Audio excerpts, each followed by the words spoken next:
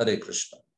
तो पिछले सत्र में पिछले यूनिट में हमने दसवा अध्याय जो है, उसके बीसवें श्लोक तक चर्चा की थी।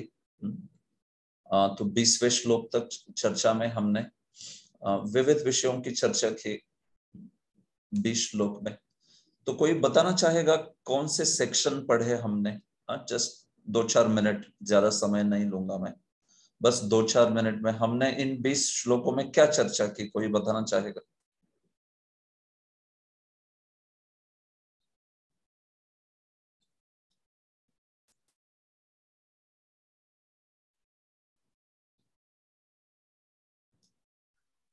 हरे कृष्ण प्रभु जी। हाँ श्रुतकीर्ति माता जी बोलिए द्वारका नगरी का सब ऐश्वर्य इस अध्याय में हमने देखा सब ऐसे तालाब फूलों से कमलों से भरे हुए थे और द्वारका नगरी का? हाँ। कहा देखे उसको? हाँ? द्वारका नगरी। अब कौन सा अध्याय की बात कर रही हो? कृष्ण का प्रस्थान। तो दसवा दसवें अध्याय का क्या शीर्षक है? महायोगी प्रभु बोले दसवें अध्याय का हाँ भगवान कृष्ण का प्रस्थान। युधिष्ठिर का राज्य के बारे में वर्णन है। हाँ युधिष्ठिर। ठीक है युधिष्ठिर के राज्य के बारे में वर्णन किया था एक से छह श्लोकों में। हम्म। फिर सात से बीस में भगवान का प्रस्थान। तो में उनका प्रभाव। हाँ तो ये जो सात से बीस में चीज़ें बोली है वो कौन से नगरी में हो रही है? बोलिए। हस्तिनापुर। हस्तिनापुर में हो रही है। सही बात। है हस्तिनापुर में वो सब प्रभाव जो है भगवान के गमन का प्रस्थान का प्रभाव बोला जा रहा है ठीक है? अभी हम लोग द्वारका में पहुँचे नहीं है। द्वारका में भगवान जो है अगले अध्याय में पहुँचेंगे ठीक है? शायद आप बहुत जगह से सुन रहे हो, काफ़ी तो हो सकता है कि आपने अन्यत्र कहीं सुना हो इसका। तो हस्तिनापुर की बात हो रही है भगवान का गमन प्रस्थान जो है, हस्तिनापुर से हो रहा है तो हस्तिनापुर के उन निवासियों पर, नगर पर कैसा प्रभाव हुआ भगवान का? ये सात से बीस श्लोकों में रहा है। ये सारी जो घटनाएँ हैं, भीष्म के भीष्मदेव के देह त्याग के पश्चात की है, जब भगवान अभी जाना चाहते थे तो भगवान ने सबसे आज्ञा अनुज्ञा स्वीकार की और फिर भगवान जाना चाहते थे। तो वो गमन का प्रभाव जो है, वो सात से बीस श्लोकों में बोला है। ठीक है? अभी देखिए, भगवान जब जा रहे हो, है तो इस प्रकार से हस्तिनापुर की स्त्रियाँ जो थी, उनके अंतर्गत भगवान के प्रति भक्ति के कारण, प्रेम के कारण कुछ वार्तालाप हुआ। तो वो वार्तालाप जो है 21 से लेके 30 श्लोकों में बोला गया है। आप कह सकते हो प्रार्थनाएँ या वार्तालाप, हस्तिनापुर की जो स्त्रिया है, कौरवेंद्र पुर स्त्री नाम सर्वश्रुति मनोहर। बराबर है? जो बीसवा श्लोक है, वो क्या कहा उस श्लोक में?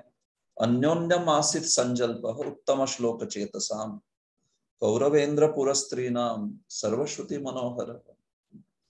तो वो जो संजल्प हुआ हम्म, उत्तम बात हुई किनमें कौरवेंद्र पुर स्त्री नाम हाँ, जो हस्तिनापुर की स्त्रियाँ है हाँ सारी। तो उन स्त्रियों के बीच में भगवान के गुणगान रूप जो सुंदर जल्प हुआ हाँ, संजल्प हुआ। और उन स्त्रियों को क्या कहा है? उत्तम श्लोक चेतसाम हाँ, बीसवें श्लोक की बात हो रही है ठीक। उत्तम श्लोक चेतसाम। जिनके हृदय में भगवान बस गए थे हाँ, उत्तम श्लोक चेतसा जो भगवान के भगवान उत्तम श्लोक से उनके हृदय जो है पूरी तरह से अप्लावित हो चुके थे। तो इसलिए उनका जो संजल्प था वो उसे कहा है सर्वश्रुति मनोहर इतना सुंदर गुणगान था वो भगवान का। मानो श्रुतियों से भी ज़्यादा मधुर ऐसा गुणगान। पुरुष सुक्त श्री सुक्त आदि से भी ज़्यादा मनोहर, क्योंकि उसमें डायरेक्ट भगवान के गुणों का सीधे सीधे भगवान के गुण, सौंदर्य आदि का वर्णन जो है, वो किया गया है। तो ये अंतिम श्लोक था। वहाँ से आगे, अभी 21 से 30 में इन स्त्रियों के इस संजल्प के बारे में बात होगी। तो अभी हम लोग इसको देखते हैं। ठीक है? तो इक्कीसवें श्लोक से हम लोग अभी चर्चा करेंगे आगे। मैं मेरी स्क्रीन शेयर कर रहा हूँ आप लोगों के साथ। देखिए इक्कीसवा श्लोक सवय किलायम पुरुष पुरातन, य एक आसीद विशेष आत्मनि। अग्रे गुणभ्यो जगदात्मनीश्वरे निमीलितात्मनिश सुप्त शक्तिषु। ओके अनुवाद पढ़िए महायोगी प्रभु। यस प्रभु। हरे कृष्ण। वे कहने लगी जैसा हमें निश्चित रूप से स्मरण है यदि है वे जो आदि परमेश्वर है। प्रकृति के गुणों की व्यक्त सृष्टि के पूर्व वे ही अकेले विद्यमान थे क्योंकि वे परमेश्वर है। अतएव सभी जीव उन्हीं में लीन होते हैं। मानो रात्रि में सोए हुए हो और उनकी शक्ति रुक गई हो। हम्म ठीक है धन्यवाद। देखिए 21 से लेके 30 श्लोक है। हम्म, तो इसमें आप देखिए मेरी स्क्रीन पर।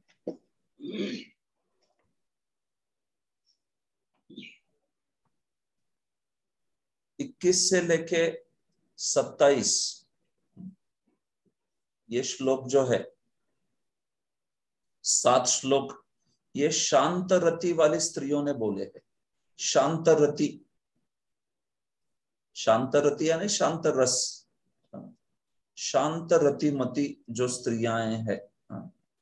शांत रति मति वाली मति मतलब आप समझते हो ना जैसे आ, मति मतलब जिनको जिनकी शांत रति है ऐसे धनमति जैसे उस प्रकार से। शांत रति वाली जो है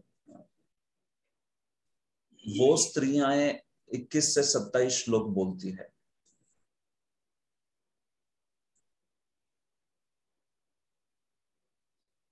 शांत रति मतलब शांत रस जो पाँच रस है ना उसमें से। और 28 से लेके 30 जो है, ये कौन सी, ये माधुर्य रति वाली स्त्रियाँ बोलती है।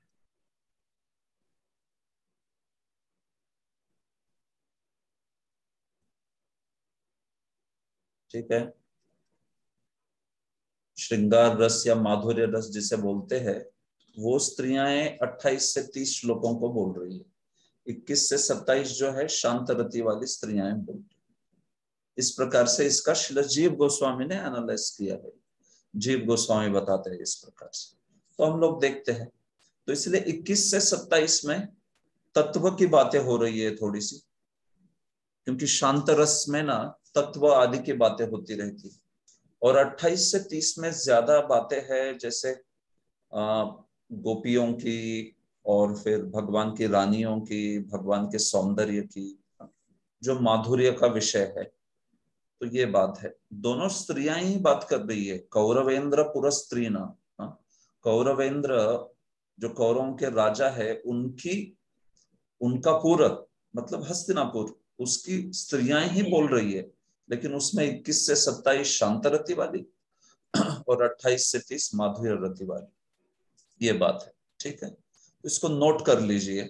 जो भी इसको अच्छे से समझना चाहते हैं, वो इस चीज़ को नोट कीजिए। मैं कोई भी चीज़ नोट पैड पे लिखता हूँ तो आप जानिए कि वो उतनी महत्वपूर्ण होती है कि आपने लिखनी चाहिए। कभी कभी कुछ लोग ऐसे रहते हैं, जैसे मानो श्रुतिधर की तरह कुछ लिखते ही नहीं है, और फिर कुछ बाद में याद आता नहीं है, क्योंकि कोई श्रुतिधर बचा नहीं अभी। लेकिन तो इसलिए लिखते जाइए, मैं जो समझा रहा हूँ, बता रहा हूँ, उस पॉइंट्स को नोट करते जाइए हाँ। कभी कभी मुझे ये चीज़ें बतानी पड़ती है कभी कभी मैं शायद बताऊँ भी नहीं, लेकिन कुछ लिखा जा रहा है तो उसको निश्चित रूप से नोट कीजिए, क्योंकि वो तो बहुत महत्वपूर्ण होगा, तभी मैं लिखूँगा उसको, ठीक है। तो देखिए इक्कीसवा श्लोक जो है, ये शांत रति वाली स्त्री बोल रही है हाँ। तो देखिए, शांत रस में क्या होता है, थोड़ा सा तत्व ज्ञान की बातें होती है सृष्टि की बातें होती है, ज्ञान, वैराग्य परक बातें होती है ऐसी बातें होती है थोड़ी सी। ये ये विशेषता होती है शांत रस की। तो इसलिए ये इक्कीसवें श्लोक में थोड़ा सा सृष्टि संबंधी भगवान का गुणगान है। ठीक है? तो क्या बोला जा रहा है? देखिए सवय किला यम पुरुष पुरातनो य एक आशीद अविशेष आत्मनी। तो देखिए भगवान का ऐसा सौंदर्य था, भगवान का ऐसा वहाँ पर तेज था, प्रभाव था कि उस तेज प्रभाव के कारण बहुत सारी स्त्रियाँ इतनी विस्मित हो गई। अरे कि कितना सुंदर पुरुष है ये। भगवान कितने सुंदर है। भगवान का कैसा प्रभाव है ये। तो ऐसे विस्मित हुई जो स्त्रियाँ हैं, उनको अन्य स्त्रियाँ शांत रस वाली ही स्त्रियाँ वो जो है, ये बात कह रही है, ये श्लोक कह रही है। क्या कह रही है? कि अरे, यहाँ पे विस्मय मत कीजिए। अरे, आप विस्मय क्यों कर रही हो? आश्चर्य क्यों कर रही हो? अरे, ये तो वही तो है। सवय किलायम पुरुष पुरातन। अरे, वो तो पुरातन पुरुष जो है ना, वो तो यही तो है वो। तो कोई साधारण पुरुष थोड़ी ना ये। ये तो साक्षात वही पुराण पुरुष है। सवय किल अयम ये साक्षात पुरुष पुरातन है, ये साक्षात पुराण पुरुष है, भगवान है आ?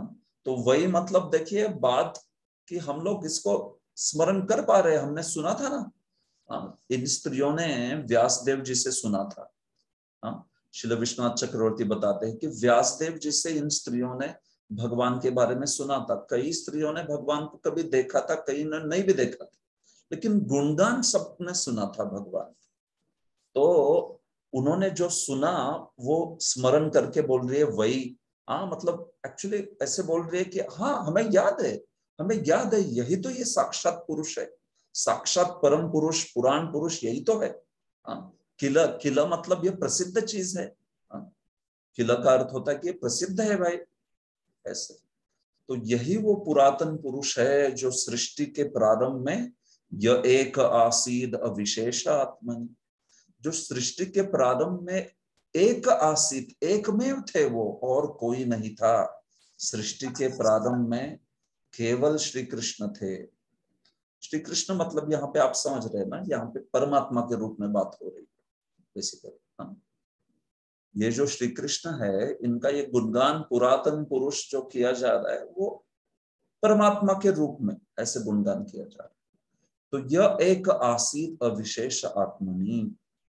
जो एकमात्र एक एक मेवा एक मेवा द्वितीय, अद्वितीय पुरुष जो है, वे श्री कृष्ण ही है हाँ श्री कृष्ण का ही वो विस्तार है, ऐसे और अविशेष आत्मनी तो अविशेष का अर्थ क्या होता है जब इस सृष्टि के प्रारंभ में कोई प्रपंच नहीं था आ?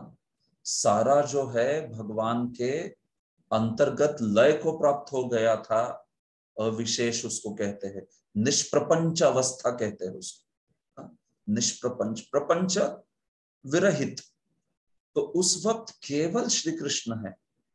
आप जानते हो, जब प्रलय होता है हाँ खास करके प्राकृतिक प्रलय बोलते हैं उसको। हम लोग देखेंगे उसको तात्पर्य में। तो जो भगवान है, प्रारंभ में सृष्टि की केवल वो ही रहते हैं, एकमात्र। बाकी प्रकृति भी उनके अंतर समा जाती है। जीव भी उनके अंदर समा जाते हैं और निद्रावस्था में होते हैं। सारा, सब कुछ, काल आदि सब भगवान के अंतर्गत होता है, परमात्मा के, महाविष्णु के अंतर्गत। तो वो बोला जा रहा है यह एक आशीद अविशेष आत्मनि अग्रे गुणेभ्यो जगदात्मनीश्वरे। हाँ? तो ये कब की अवस्था है भाई? निष्प्रपंच अवस्था। तो बोला जा रहा है, गुणेभ्यो अग्रे। हाँ जब गुण जो है ना, वो गुण हम लोग देखते हैं कि उनका क्षोभ नहीं हुआ था। गुणों का क्षोभ होने के बाद, गुणों की हलचल होने के बाद सारा जो प्राकट्य होता है ब्रह्मांड का, वो शुरू हो जाता है। गुणों की, गुणों के क्षोभ के पूर्व कुछ नहीं होता है, केवल भगवान होते हैं तब।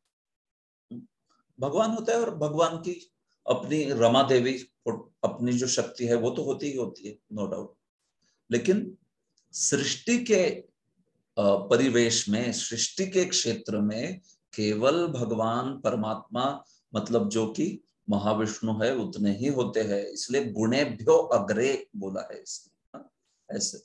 तो उस वक्त सारा भगवान में मिला था सब कुछ भगवान के अंतर्गत था। हाँ, जगद आत्मनीश्वरे निमिलितात्मन निशि सुप्त शक्तिशु हाँ सारी जो शक्तियाँ हैं ना, ये महत्त्व आदि सब कुछ जो है, ये सुप्त था, ये सब भगवान के अंदर था, निमिलित था भगवान के अंतर्गत हाँ। तो उसी को प्रलय की अवस्था कहते हैं, प्राकृतिक प्रलय की अवस्था कहते हैं, खास करके उसको। चार प्रकार के प्रलय होते हैं, ये तात्पर्य में मैं बताऊँगा आपको, पहले श्लोक समझ लीजिए, क्या बोला जाए तो ये वही पुरुष है जो सृष्टि के प्रारंभ में वो जो है अकेला विद्यमान था और जब इस सृष्टि का प्रलय हो जाता है तो भी वही अकेला विद्यमान होता है। हाँ, ये बात है।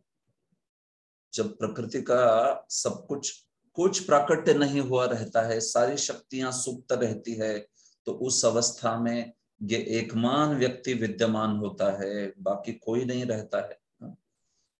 तो वही चीज़ जो है, वो प्रलय की अवस्था है। और फिर जब सृजन होना सृजन होना है तो फिर भगवान जो है प्रकृति पर दृष्टिपात करके सब एक एक एक एक प्रकट करने लगते हैं।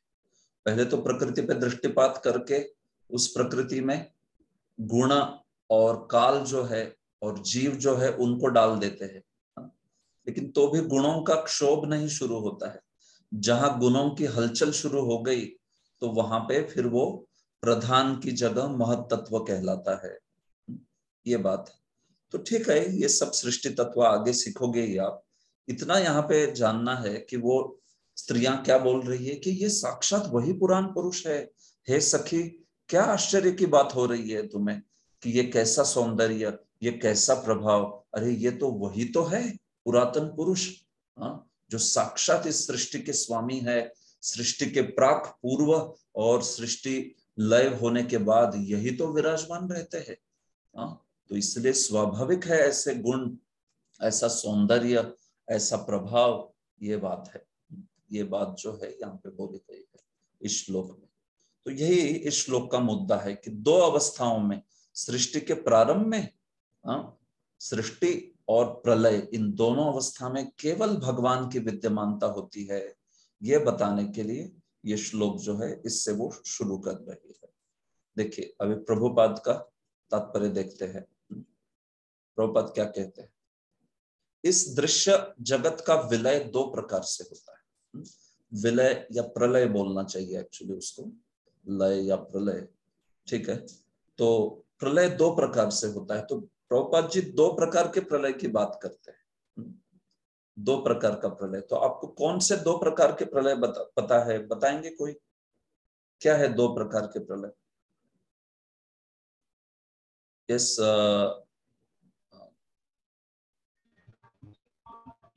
दो प्रकार के प्रलय कोई बताना चाहेगा? क्या होता है? हाँ थोड़ी चर्चा कर करूँगा बीच में ये सुकुमारी रहता माता जी बोली हरे कृष्ण प्रभु जी। एग्जैक्टली exactly दो प्रकार के नहीं थोड़ा ज़्यादा बताया था कि एक होता है जो एवरी सेकंड होता रहता है। एक okay. ब्रह्मा जी की जब वो रात्रि होती है तब होता है। और तीसरा होता है जो कि जब ब्रह्मा जी की आयु समाप्त होती है तब होता है। और एक होता है जो मैं भूल गई वो वो बहुत इंपॉर्टेंट होता है मुझे। चार ओके हाँ, सातन गोविंद प्रभु चौथा प्रलय क्या होता है? हाँ चौथा प्रलय आत्यंतिक प्रलय जब जीवात्मा इस जगत से मुक्त होकर स्पिरिचुअल वर्ल्ड में चला जाता है। बहुत अच्छा ठीक है। यस तो धन्यवाद माता जी प्रभु जी दोनों भी। तो चार प्रकार के प्रलय होते हैं। हाँ, प्रभुपाद जी ज़्यादा फोकस कर रहे हैं दो पे लेकिन चार होते हैं। नित्य प्रलय नैमित्तिक प्रलय प्राकृतिक प्रलय आत्यंतिक प्रलय। हाँ, ये चार प्रकार के प्रलय बोले।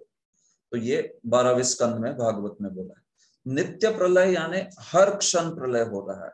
हाँ हर क्षण प्रलय हो रहा है कि नहीं? हो रहा है ना। है कि नहीं? बीस साल के रहते, अठारह साल के तो लोग बहुत हाँ अपने बाल वाल संवारते रहते हैं।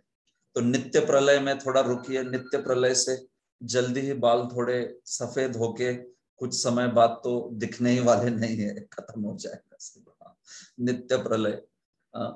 तो ये बात है।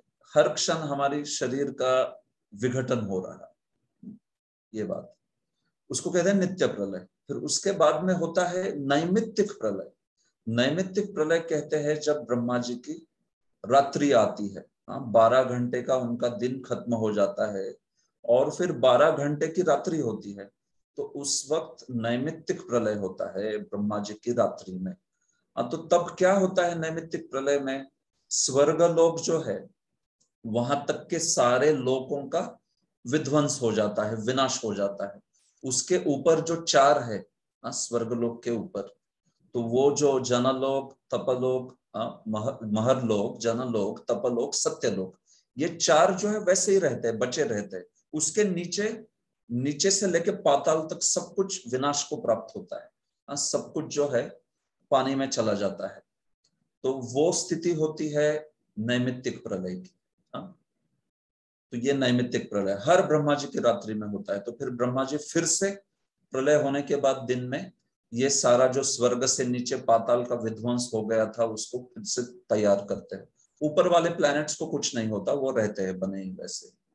जो चार है ऊपर वाले, लेकिन नीचे जो है बचे हुए चौदह में से, चौदह भुवन में से ऊपर के चार रहते हैं, लेकिन नीचे तो है ना इतने सारे तो वो सब उनका विध्वंस होता है। तो वो हो गया नैमित्तिक प्रलय। तीसरा होता है प्राकृतिक प्रलय। हाँ प्रकृति का ही प्रलय मतलब ब्रह्मा जी की आयुष खत्म हो जाती है। तो क्या हो जाता है? सब कुछ खत्म हो जाता है। सारे भुवन, चौदह भुवन, सब कुछ ब्रह्मांड, सब सब खत्म। सब कुछ जो है महाविष्णु के शरीर में चला जाता है। जो जीवा भगवत धाम, जो जीव भगवत धाम जाने के काबिल है, वो भगवत धाम चले जाते जो जिनका कर्म बचा है, वो महाविष्णु के अंतर्गत निद्रावस्था में होते हैं। और वो जब अगला सृष्टि होगी तो फिर से वो बाहर आएँगे महाविष्णु से हाँ तो महाविष्णु के शरीर में चले गए हैं, लेकिन वो भगवान के धाम नहीं जाएँगे तो भी वापस आएँगे वहाँ से। क्यों? क्योंकि वो अवस्था प्राकृतिक प्रलय की अवस्था है हाँ? वो आत्यंतिक प्रलय वाली नहीं है तो उसमें फिर सब कुछ उनके अंदर चला जाता है। काल, आदि आदि, सब कुछ कुछ नहीं रहता, सिर्फ़ महाविष्णु, कारण समुद्र पे लेटे रहते दैट्स इट ऐसे, इस प्रकार से। तो ये प्राकृतिक और अंतिम हो गया आत्यंतिक प्रलय, जिसमें जीव जब भगवान के धाम ही चला जाता है सीधा, या मुक्ति को प्राप्त कर लेता है सालों के सामिप्य साष्टी आदि तो ये सारे जो है, उसको कहते हैं आत्यंतिक प्रलय। ठीक है? तो वो प्रलय मतलब एक्चुअली भले ही उसको प्रलय कहा जा रहा है, वो वांछित प्रलय है, वो इट्स अ डिजायरेबल एनाइलेशन वो तो चाहिए हाँ हर एक को भगवान के धाम जाना चाहिए। जीव उसी के लिए बना है। तो वो अंत वाला प्रलय जो है, वो वांछित प्रलय है। ठीक है, ये बाकी तीन जो है, वो तो बेचारे जीव के कर्म के कारण उसको भोगने पड़ गए, ये बात। तो प्रोपा जी दो जगत जगत का दो प्रकार का प्रलय बताते हैं तो उसमें ये दो बता रहे ब्रह्मा जी के अंत वाला नैमित्तिक और ब्रह्मा जी के दिन के अंत वाला नैमित्तिक और ब्रह्मा जी के आयु के अंत वाला प्राकृतिक। ये दो बता रहे तो प्रभुपाद जी ये समझा रहे कि इस प्रकार से जब प्रलय होता है तो भगवान जो है, खास करके ये प्राकृतिक प्रलय की बात हो रही है, क्योंकि देखिए, नैमित्तिक प्रलय के वक्त तो ऊपर के चार प्लैनेट्स हो, ये सब बने रहते हैं। हाँ वो उसका कुछ विनाश नहीं हुआ रहता है। तो इसलिए ये श्लोक खास करके प्राकृतिक प्रलय की बात कर रहा है, इसको समझिए, क्योंकि वो एक एव बोल रही है। निष्प्रपंच अवस्था है वो। तो निष्प्रपंच अवस्था जो है वो प्राकृतिक प्रलय को ही लागू होती है। हाँ, उस वक्त भगवान छोड़ के कोई नहीं होता है इस जगत में। ये बात है। हाँ, सृष्टि के इसमें। तो प्रोपा जी इसी को समझा रहे हैं यहाँ पर कि भौतिक प्रकृति के तीनों गुणों के गतिमान होने के पूर्व श्री भगवान विद्यमान थे। हाँ, एक एवं आसीत। इस प्रकार से बोले। और वो कारनार में लेटे हुए थे। और फिर जब उनकी सृष्टि की इच्छा हो जाती है, तब आँखें खोल के दृष्टिपात करते हैं प्रकृति पर और फिर वहाँ से आगे जो सृष्टि परंपरा है, वो प्रारंभ हो जाती है। ये बात है। तो आगे देखिए प्रभुपद। इस प्रकार गोविंद अर्थात भगवान कृष्ण महाविष्णु के भी कारण रूप है? तो ये जो श्लोक है, महाविष्णु का गुणगान कर रहा है, देखा जाए तो। बट चूँकि श्री कृष्ण साक्षात श्री कृष्ण का ही महाविष्णु एक विस्तार है, इसलिए वो स्त्रियाँ ऐसे बोल रही है कि अरे, यही तो है वो पुरातन पुरुष, है कि नहीं? क्योंकि श्री कृष्ण में अंतर्भूत है ना परमात्मा, महाविष्णु, इसलिए उस प्रकार से बोल रही है। भगवान श्री कृष्ण महाविष्णु के भी कारण रूप है। तो देखिए, प्रभुपद कहते, आपस में वार्तालाप कर रही इन स्त्रियों ने निश्चित रूप से यह वैदिक सत्य किसी प्रामाणिक स्रोत से सुन रखा होगा। तो वो किन से सुना था? वो व्यासदेव से सुना था। ये श्रीपद विश्वनाथ चक्रवर्ती ठाकुर बताते हैं कि व्यासदेव आदि साधुओं से ऋषियों से ये स्त्रियाँ हमेशा श्री कृष्ण का गुणगान सुनती रहती थी। तो इसलिए उनको ऐसी प्रार्थना करने की यहाँ पे प्रतिभा है। आप सोचिए ना, वे तो ऐसे कोई स्त्रियाँ है, वो बहुत कुछ वेद वेद आदि में बहुत निष्णात है, ऐसी बात नहीं है। लेकिन कैसे बोल पा रही है ये सब चीज़ें? क्योंकि प्रामाणिक स्रोत से सुना है। हाँ। तो जो अच्छे से सुनता है प्रामाणिक स्रोत से वो उसको बोल भी पाएगा। उसको तत्व ज्ञान का जो आकलन है वो हो जाएगा। तो वही इन स्त्रियों में दिख रहा है यहाँ पर, क्योंकि उन्होंने प्रामाणिक स्रोत से सुना था इस प्रकार से। अंत में प्रभुपद जी ये चीज़ कहते हैं कि महाविष्णु के शरीर में जीवों का प्रवेश ब्रह्मा के 100 वर्ष पश्चात स्वतः हो जाता है। हाँ प्राकृतिक प्रलय की बात है लेकिन इसका अर्थ ये नहीं है कि व्यक्तिगत जीव अपना अस्तित्व खो देता है। सिंपल सी बात है भाई महाविष्णु में जीव चला गया है उसका अर्थ ये थोड़ी ना है कि वो विलीन हो गया। नहीं जीव तो जीव रहता है हाँ, जो भी हो महाविष्णु में भी चला क्यों ना जाए लेकिन जीव जो है वो ये जो है ब्रह्म सायुज्य नहीं है या शरीर सायुज्य नहीं कहा जाता इसको हाँ। ये तो वो प्राकृतिक प्रलय नियम के अनुसार वो अपना प्राकृतिक प्रलय होने पर महाविष्णु में चला जाता है। अगली सृष्टि की परंपरा में बाहर आता है फिर से हाँ कर्म के अनुसार। ऐसी बात है। तो इसलिए यह अस्तित्व खोता नहीं है, अपना वो लय को प्राप्त नहीं होता है, जैसे मायावादी लोग आदि कहते हैं। पहचान तो बनी ही रहती है प्रभुपद कहते हैं। और जो ही श्री भगवान की परम इच्छा से दूसरी सृष्टि होती है, त्यों ही सभी सुप्त निष्क्रिय जीवों को छोड़ दिया जाता है। इससे अपने शरीर से इस सृष्टि में छोड़ दिया जाता है, प्रकृति में डाल दिया जाता है उनको। जिससे वे अपने पूर्व जीवन के विभिन्न कार्य क्षेत्रों के अनुसार अपने कार्यों को आगे बढ़ा सकते हैं। तो देखिए, इसको सुप्तोत्थित न्याय कहते हैं। हाँ? सुप्तोत्थित। इसको कहते हैं। सुप्त उत्थित सोया था, वो उठ गया। हाँ? तो सोया था, उसके कारण कुछ कर नहीं रहा था, ऐसे लग रहा था। तो वैसे महाविष्णु के प्राकृतिक प्रलय प्राकृतिक प्रलय में महाविष्णु के शरीर में होना सुषुप्ति अवस्था कहलाती है। सुषुप्ति होती है वो। तो उसमें कोई कुछ करता नहीं है, जीव जो है वो सुषुप्ति एकदम गहरी नींद में रहता है। तो जब उठता है तो स्वाभाविक अपने कर्म के अनुसार फिर कार्य करने लगता है। हा? तो ये बात है, इसको सुप्तोत्थित न्याय कहते हैं। उठने के बाद व्यक्ति जैसे कार्यरत हो जाता है। सो रहा था तो निष्क्रिय था, उठ गया तो सक्रिय हो गया। तो उसी प्रकार से ये प्राकृतिक प्रलय के बाद जिनका कर्मा बचा है, ऐसे जीव जो है वे फिर से सक्रिय हो जाते हैं। तो इसलिए इसको लय नहीं कह सकते, ये प्रभुपाद जी समझा रहे हैं। ये बात है सुप्तोत्थित न्याय ठीक है। तो ऐसे ये भगवान जो है, सृजनात्मक शक्ति के सक्रिय अवस्था में आने के पूर्व भी उनका अस्तित्व था और प्रलय में भी उनका अस्तित्व है, प्रलय के परे भी वे ऐसे एकमात्र भगवान है, ये इन श्लोक में उन्होंने, इन स्त्रियों ने बोला। ठीक है। तो देखिए, इसी विचारधारा को वो चार श्लोक में कहती है, उसको मैं लेके फिर कुछ प्रश्नोत्तर करूँगा। चार श्लोकों की ऐसी विचारधारा, इसको देखते हैं, फिर आगे कुछ प्रश्नोत्तर करेंगे। सएव भूयो निज वीर्य चोदिताम स्वजीव मायाम प्रकृतिम से सृक्षतिम अनाम रूपात्मनि रूप नामनि विधित समानोनुसार शास्त्र ठीक है, सनातन गोविंद प्रभु, अनुवाद पढ़िए। तब श्री भगवान ने अपने अंश रूप जीवों को नाम तथा रूप प्रदान करने की इच्छा से उन्हें भौतिक प्रकृति में मार्गदर्शन के अंतर्गत कर दिया। भौतिक प्रकृति उनकी ही शक्ति से पुनः सृष्टि करने हेतु सक्षम होती है।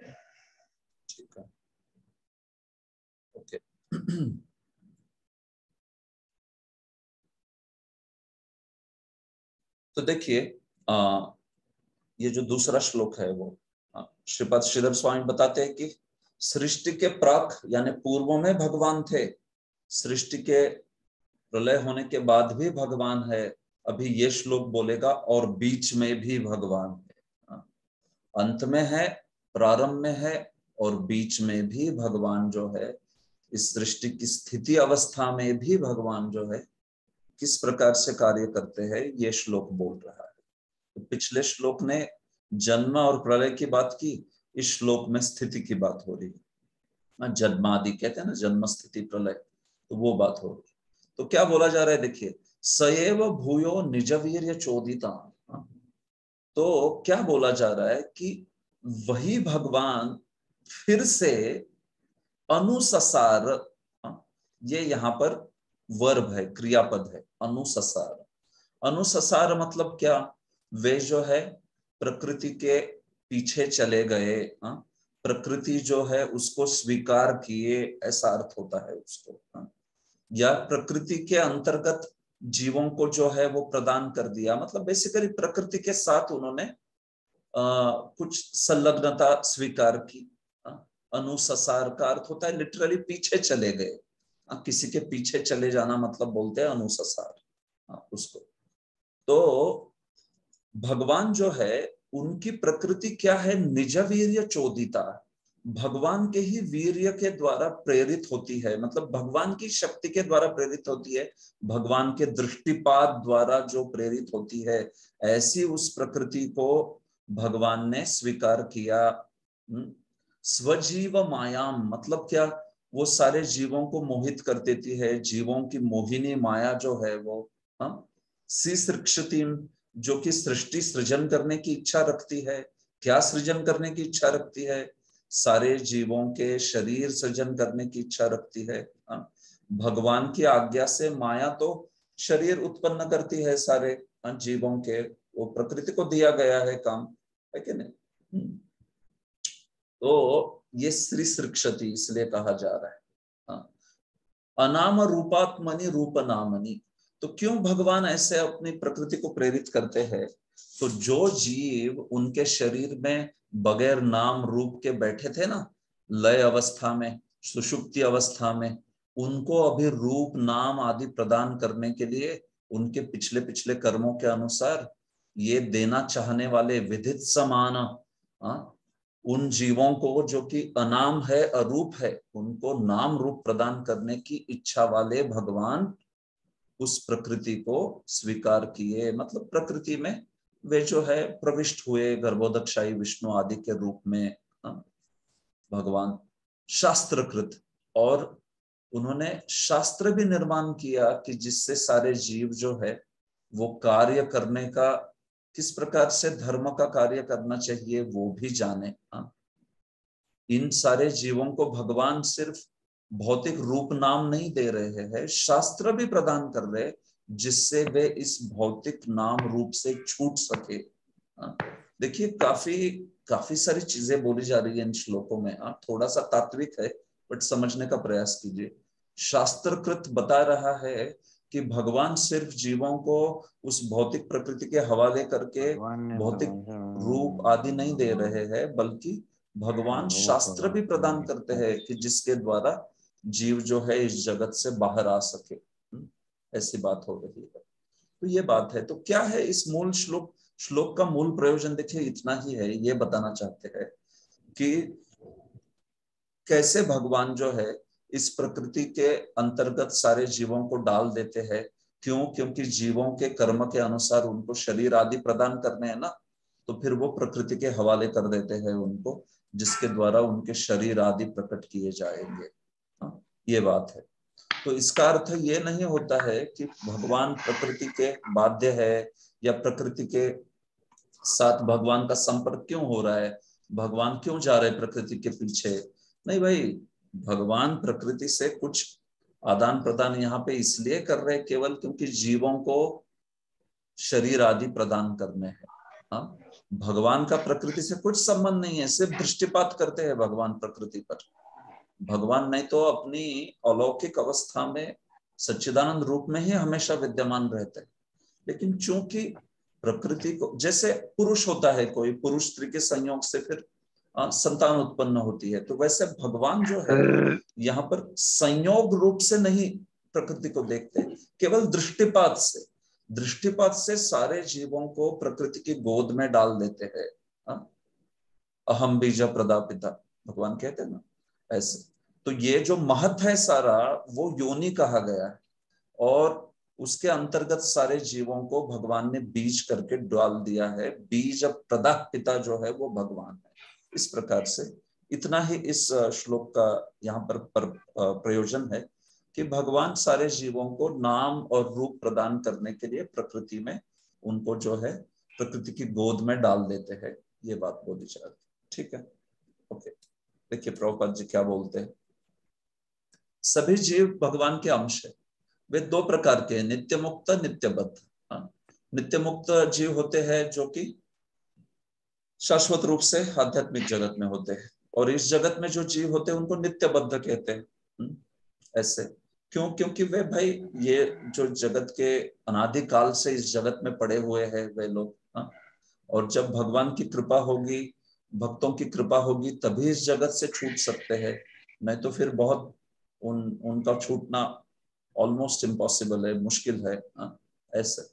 तो ये दो प्रकार के जीवों में नित्य मुक्त जीव आध्यात्मिक जगत के होते हैं, लेकिन यहाँ जो नित्यबद्ध जीव है, वे माया के प्रभाव में है।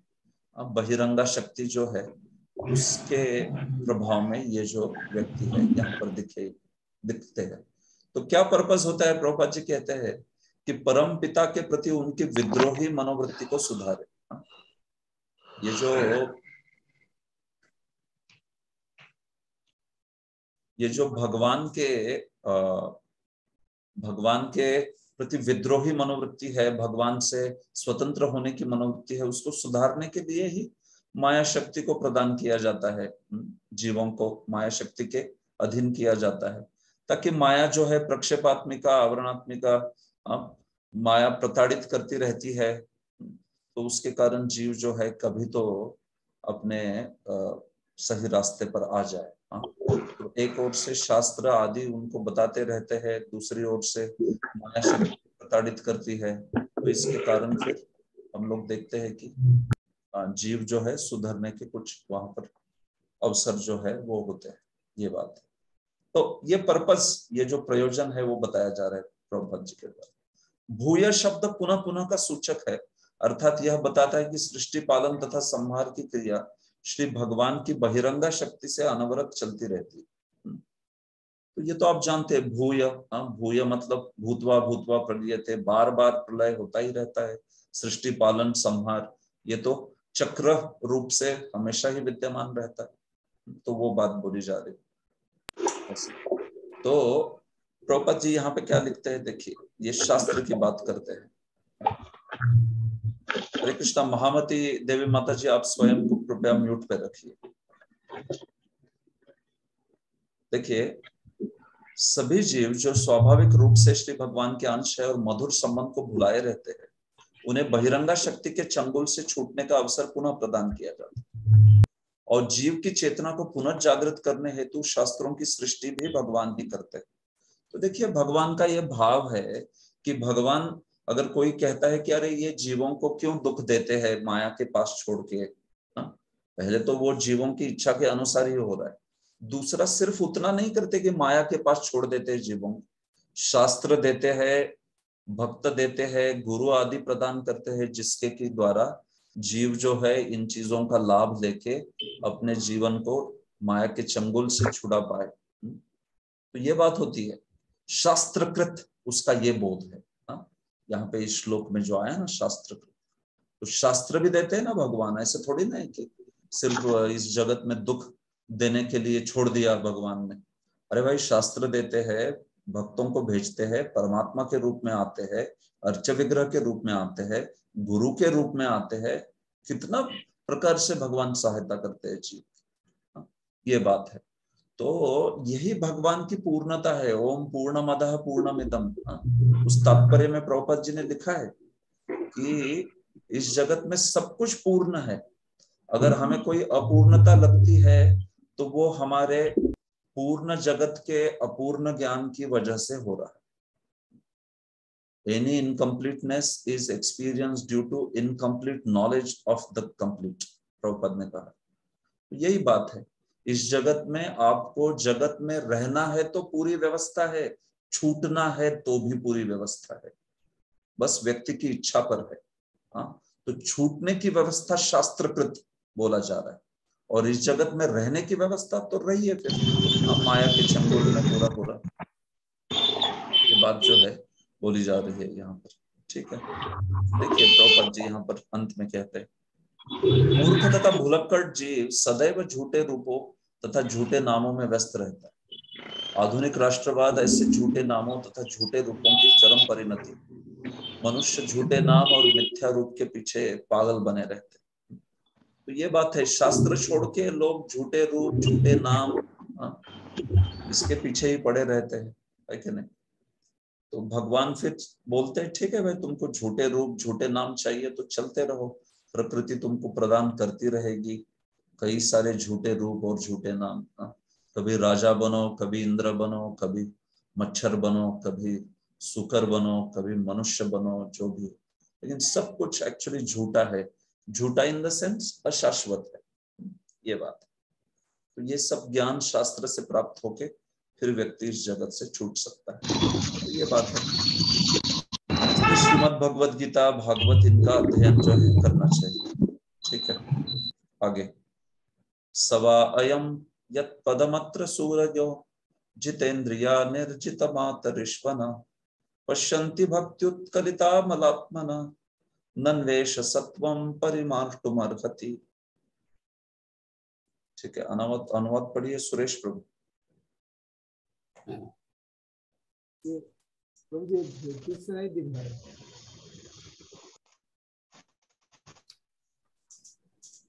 यस प्रभु पढ़िए।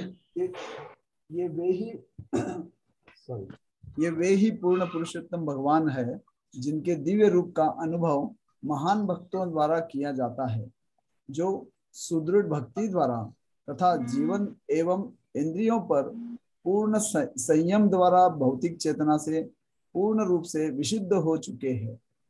अस्तित्व को विमल बनाने का यही एकमात्र मार्ग है। धन्यवाद।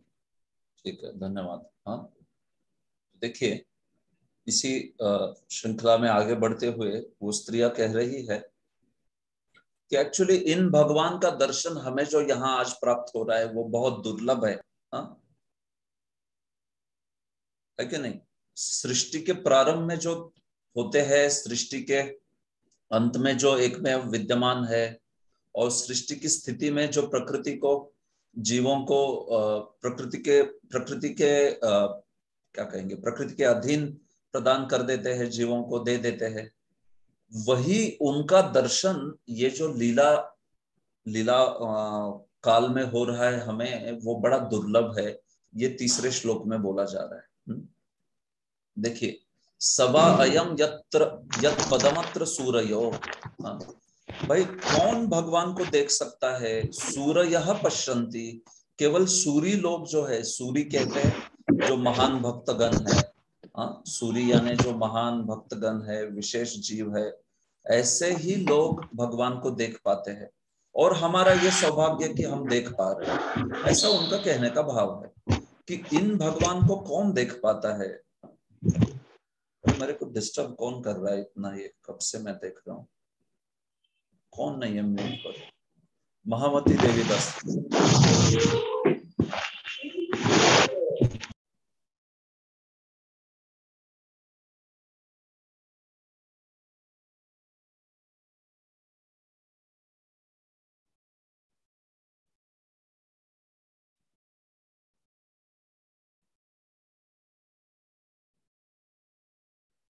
ठीक है? तो देखिए क्या बताया जा रहा है कि ये दर्शन जो हमें हो रहा है बहुत दुर्लभ है। आ, हाँ, क्योंकि कौन भगवान को देख सकता है? नॉर्मली देखा जाए तो आ, हाँ, साधारणतया भगवान को देखने का ये विधि है ये श्लोक बोल रहा है। लेकिन अभी तो लीला काल है इसलिए हमें दर्शन हो रहा है। ये बड़ी दुर्लभ चीज़ है ऐसे वो कह रही है। क्या है ये? हाँ, साधारणतया भगवान को कैसे देखा जा सकता है? तो ऐसे देखा जा सकता है। जितेन्द्रया निर्जित मातरिश्वन भक्ति उत्कलिता अमलात्मना पश्यंती अरे देखो भाई भगवान को तो सूरी लोग ही देख सकते हैं आ, बहुत विशेष भक्ति देख सकते हैं जिन्होंने अपने इंद्रियों पे पूरा संयम प्राप्त कर लिया निर्जित मातरिश्वन जिन्होंने अपने प्राणों पे पूरा संयम प्राप्त कर लिया है प्राण मतलब आप समझते हैं इंद्रिय और मन दोनों के ऊपर जिस जिन्होंने पूरा पूरा नियंत्रण प्राप्त कर लिया और उतना ही नहीं भक्ति उत्कलितामलात्मना जिनका जो मन है बुद्धि है वे पूरी तरह से भक्ति के कारण अमल हो गई है। ऐसे लोग ही भगवान को देख पाते हैं लेकिन हमारा सौभाग्य देखो कि आज इस भगवान को हम हमारे साक्षात हमारी आँखों से देख पा रहे हैं। हाँ, ये कहने का भाव है। बड़ा दुर्लभ दर्शन है इनका।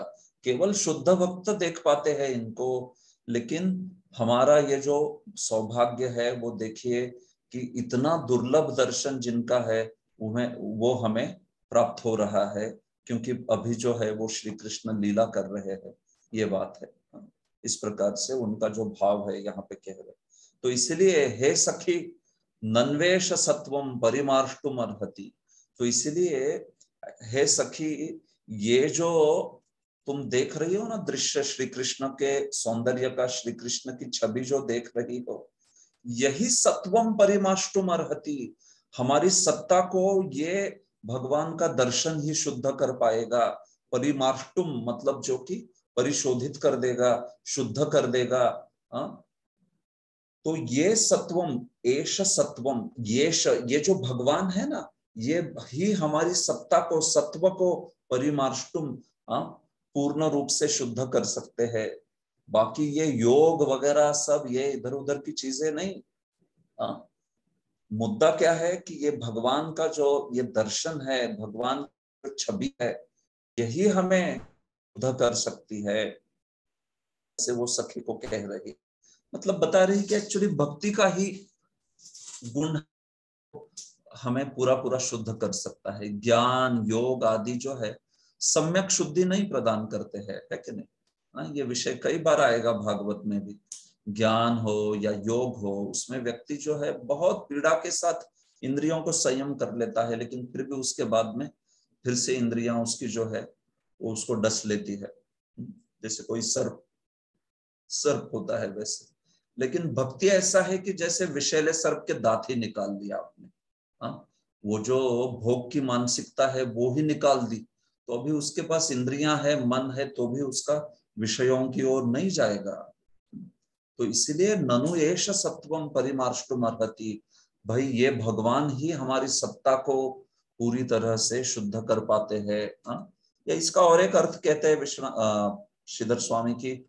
इसलिए येष सत्वम मतलब ये दृश्य जो है ना परिमार्ष्टुम अर्हति न इसको हमारे सामने से जाने नहीं देना चाहिए हमने।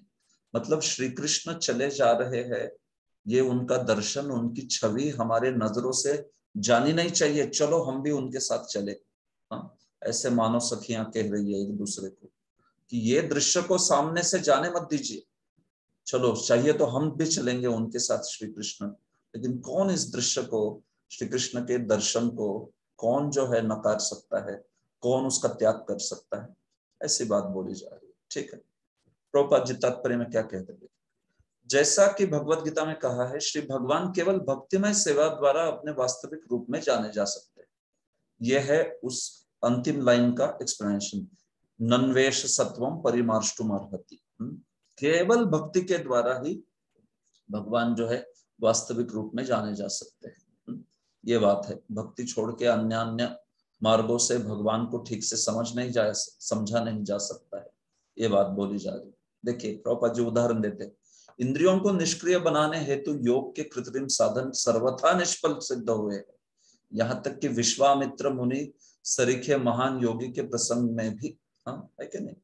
विश्वामित्र बड़े महान मुनि थे, बड़े प्रचंड योगी थे, लेकिन कैसे हाँ इतनी तपस्या की तो भी जब मेनका आई तो फिर मेनका के वो नुपुर के स्वर से ही पूरी तरह से विमोहित हो गए, काम वासना से। फिर उसके बाद में एक रंभा आई तो उसके वक्त क्रोध के वासना से बहुत प्रभावित हुए, क्रोध से। रंभा जो है, उसको दंडित कर दिया। और फिर उसके बाद में त्रिशंकु के वक्त मद से मद के कारण वे जो है पीड़ित हुए। तीन बार उनका विश्व, तीसरी बार तो विश्व के मित्र नहीं, वो विश्व के अमित्र सिद्ध होने लगे। आ? नाम था विश्वामित्र, लेकिन विश्व के अमित्र मतलब शत्रु के रूप में सारा वो जो त्रिशंकु स्वर्ग है, नीचे गिरने वाला था। तो फिर भगवान ने उनको बताया कि भाई, ये सब चीज़ों में तुम मत पड़ो और तुम भक्ति करो। उसके पश्चात विश्वामित्र भक्ति मार्ग में लग गए। ये बात। तो उनके इस प्रसंग से समझते हैं कि योग आदि मार्ग में जो कि श्री कृष्ण के संबंधित नहीं है अगर तो फिर उन सारे मार्गों में व्यक्ति को बहुत पीड़ा होती है, इंद्रिय संयम आदि प्राप्त करने को। ये बात बोली जा रही है। देखिए, जितेंद्रिया निर्जित मातरिश्वना उसके संपर्क, उसके संबंध में बोला जा रहा है। ऐसे। लेकिन एक शुद्ध भक्त के साथ ऐसा नहीं होता कि कृत्रिम साधन से इंद्रियों को कार्य करने से रोका जाए। अभी तो उन्हें अन्य अच्छे कार्यों में लगाया जाता है। तो भक्ति में ऐसे नहीं होता है। भक्ति में हम क्या करते हैं? इंद्रियों को तो रखते हैं, लेकिन उनके सर्प तो है, लेकिन सर्प के विषैले दांत निकाल दिए। हाँ वैसे इंद्रियाँ तो है, लेकिन इंद्रियों से भोग की मानसिकता ही निकाल दी। अभी उस सांप को आप हाथ में लेके खेलो भी, कुछ नहीं करेगा वो। क्यों? क्योंकि आपने उसके विषैले दांत ही निकाल दिए। तो वैसे भक्ति का मार्ग है। इंद्रियाँ, मन तो हम उनका उपयोग करते हैं, लेकिन श्री कृष्ण की सेवा में। और उसी के द्वारा हम लोग भगवान को प्राप्त कर सकते हैं। ये बात बोली गई ठीक है? चौथा श्लोक। सवा अयम सख्य नुगीत सत्कथो वेदेशु गुह्येषु च गुह्यवादी यैकईशो जगदात्मलीलया सृजत्यवत्यत्ति न तत्र सज्जते। ओके। अनुवाद पढ़िए।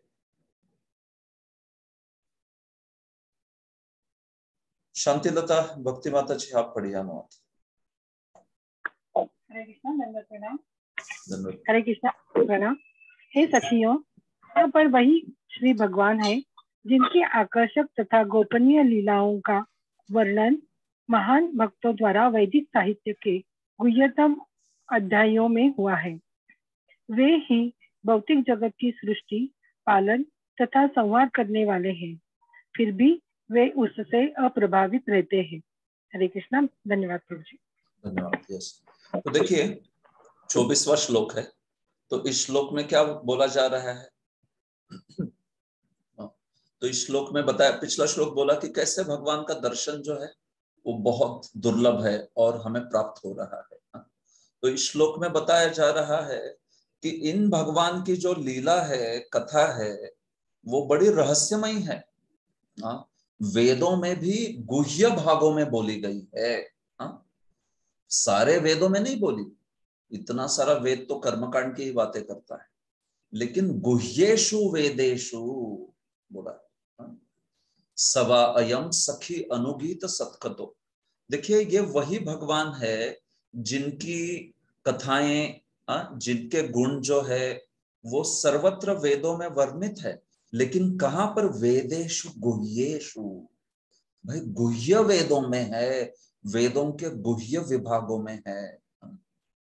आपको कर्मकांड में कौन सी, कर्मकांड के शास्त्र में भगवान की लीलाएँ थोड़ी ना दिखेगी आपको पता होना चाहिए भगवान की लीलाएँ कहाँ देखनी वेदों में। नहीं तो कुछ कुछ लोग रहते हैं ना, बोलते अरे, आप लोग कृष्ण कृष्ण करते हो, कहाँ पे वेदों में कृष्ण है?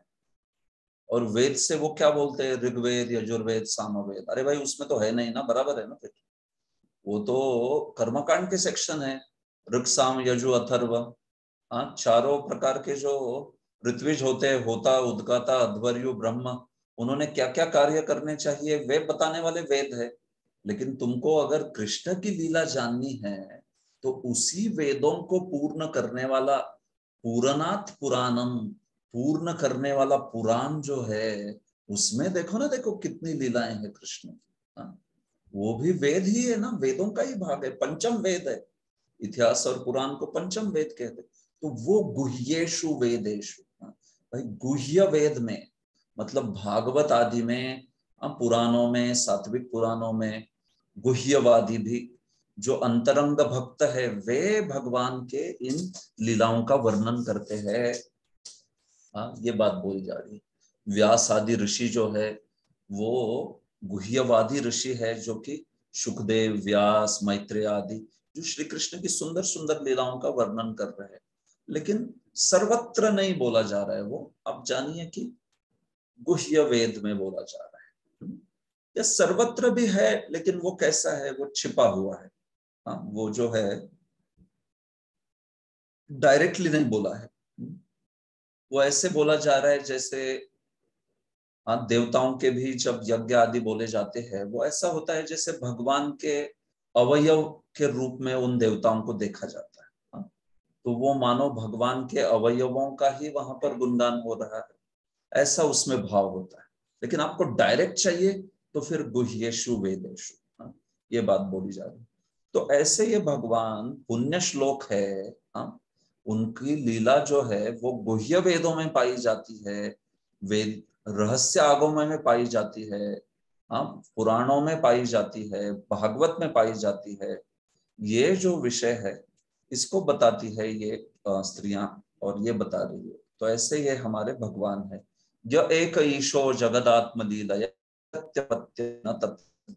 हाँ तो इस प्रकार से ये वही एक भगवान है, जो अपनी आत्मलीला से, अपनी स्वेच्छा से इस जगत को सृजती, सृजन करते हैं, अवति हाँ अवति मतलब क्या? रक्षा करते हैं और अति अति मतलब खा जाते हैं मतलब प्रलय कर देते हैं सृजति, अवति, अति हाँ सृजन करते हैं, रक्षा करते हैं, अति मतलब खाते हैं मतलब प्रलय कर देते हैं, अपने में समा लेते हैं, लेकिन न तत्र सज्जते, लेकिन आसक्त नहीं होते हैं उसमें ये सब करते हुए भी उसमें फंसते नहीं है बिल्कुल। ये भगवान की दिव्य अवस्था है। भगवान जो है, वे हमेशा ही तीन गुणों के परे रहते हैं। भले ही तीन गुणों के कार्य करे, सृजती, अवति अति लेकिन वे कभी भी तीन गुणों के प्रभाव में नहीं होते, वो अलौकिक ही बने रहते हैं। हमेशा ही। हाँ ये बात जो है, इस श्लोक में बोली गई है। तो यही बात है। कि रहस्यमय वेदों में, गुह्य वेदों में इनका वर्णन मिलेगा। इसलिए ये बात पता होनी चाहिए। कभी कभी लोग भी देखे ऐसे प्रश्न पूछते हैं ना, ए, तुम लोग क्या है तुम हरे कृष्णा वाले? हमेशा अर्च विग्रह की सेवा सेवा बोलते रहते हो। कौन से वेद में लिखी है अर्च विग्रह की सेवा? हा? कौन से वेद में लिखी अरे भाई, वेद में नहीं लिखी है, पुराणों में लिखी है, पंचरात्रों में लिखी है ना। तुमको किसने कहा कि उसको वेद में ही देखना है करके? वेद तो बहुत है ना वेद मतलब सारी ही चीज़ को वेद कहते हैं। वेद मतलब चार वेद ब्राह्मण आरण्य उपनिषद संहिता आगम पंचरात्र पुराण इतिहास कल्पसूत्र कितने सारे कितनी चीज़ें हैं वेद में। तो वेद में ड्यूटी वर्शिप अर्च विग्रह की सेवा नहीं है। आ, ऐसे कुछ मूर्ख लोगों का विधान रहता है। या वेद में श्री कृष्ण की लीला कहाँ है? अरे भाई वेद मतलब अगर तू वो उतना सा वेद देख रहा है सिर्फ़ वृक्षाम या जो अतर्व तो उसमें कहा श्री कृष्ण की लीला मिलेगी? थोड़ी बहुत मिलेगी लेकिन ज़्यादा नहीं है। हाँ, थोड़ी बहुत है उसमें भी है। मुद्दा क्या है? कृष्ण की लीलाओं को आपको गुह्येशु वेदेशु हाँ, इसमें देखना पड़ेगा। तो वही वेदों के अंग है पुराण आदि सब कुछ। इनफैक्ट आज की घड़ी में तत्व संदर्भ बताता है तत्व संदर्भ में आप में से कुछ भक्तों ने सीखा होगा। पाँच प्रतिशत, छह प्रतिशत भी वेद आज उपलब्ध नहीं है। तो आप अगर वेद होता भी तो पाँच प्रतिशत, छह प्रतिशत उपलब्ध है, उसमें क्या ढूंढोगे? सिर्फ़ पुराण जो है, वो सौ प्रतिशत उपलब्ध है। वेद तो पाँच, छह प्रतिशत उपलब्ध है ओरिजिनल तो इसलिए जीव गोस्वामी कहते हैं कि कलयुग में तो पुराण से ज़्यादा सॉरी वेद से ज़्यादा पुराण का महत्व होता है। ये बात क्योंकि पुराण पूरे पूरे मिलेंगे। प्रचरत रूपत्वात आज भी प्रचार में है, आज भी उसकी टीकाएँ हैं। वेद का क्या है? सारा वेद, पाँच छह प्रतिशत भी बचा नहीं। सब कुछ लुप्त हो गया काल के प्रभाव से। उसको देख के कौन क्या केसेस बना रहा है कि उसमें अर्च विग्रह की सेवा कहाँ बोली और कृष्ण की सेवा कहाँ बोली है? आप सोचिए, सौ पन्ने जिस पेजेस में उसमें से पाँच बच गए सिर्फ़। बाकी पिचानवे पत्ते पन्ने फट गए। और फिर उस बुक में कोई बोल रहा है कि इसमें तो दिखता ही नहीं। अरे पचानवे पत्ते उसके चले गए सबके सब। तो क्या बात कर रहा है? ये बात है। तो वैसे ही वेदों का हुआ है आज की घड़ी पर लेकिन पुराण जो है वो इंटैक्ट व्यासदेव जी ने चार लाख साढ़े अठारह पुराणों को मिला के चार लाख श्लोक संकलित किए थे। आज भी वो चार लाख श्लोक है। हाँ, उपलब्ध है पूरे पूरे ये बात। तो इसलिए हमें इस चीज़ को जानना चाहिए। कभी कभी लोग ऐसे प्रश्न पूछते हैं बाहर की दुनिया में भी प्रचार में। अरे कृष्ण का गुण राधा कहाँ है वेद में? हाँ राधा रानी कहाँ है वेद में? बोलो ऐसे बोलते आपकी राधा रानी जो है आपकी परम आ, आ, हमारी परम स्वामिनी वो कहाँ पे बोले? श्री कृष्ण की लीला कहाँ बोली है? अर्च विग्रह की सेवा कहाँ पे बोली मूर्खों को पता नहीं है ना कि कहाँ देखना है। वेद मतलब क्या क्या आता है उसमें। वेद मतलब उसमें पुराण आ गए। पुराण में भी आया। पुराण में कितनी जगह राधा रानी का वर्णन है? ब्रह्म वैवत पुराण में ब्रह्म पुराण में भरा पड़ा हुआ है। तो राधा ही राधा है सर्वत्र। हाँ, ये बात है। ठीक है? तो इस प्रकार से ये चार श्लोकों में ऐसा वर्णन करते हैं। तो पहला श्लोक बता रहा है कि कैसे ये भगवान सृष्टि के आदि और अंत में विद्यमान है। दूसरा श्लोक बता दिया कि कैसे ये बीच में भी विद्यमान है। और जीवों को प्रकृति के अंतर्गत डाल देते हैं। तीसरे श्लोक में बताया गया कि कैसे ये भगवान जो है, उनका दुर्लभ दर्शन है, लेकिन हमें आज प्राप्त हो रहा है। और चौथे में बताया कि अगर इनको समझना है, इनकी लीला समझनी है तो गुह्येशु वेदेशु उस भाग में जाना पड़ेगा। ठीक है? तो ऐसे पहले चार श्लोकों की ये थीम जो है, यहाँ पर पूरी हो रही ओके, कुछ पूछना है इस पे आपको? सुकुमारी ललिता माता जी बोली। हरे कृष्ण प्रभु जी, वो आपने बताया जैसे प्राकृतिक प्रलय प्रलय होती है तो जिनका जो सबका हो जाता है, वो भगवत धाम चले जाते हैं और जिनके कुछ पाप पुण्य के हिसाब रह जाते हैं तो फिर वो योग निद्रा में भगवान के साथ जाते हैं।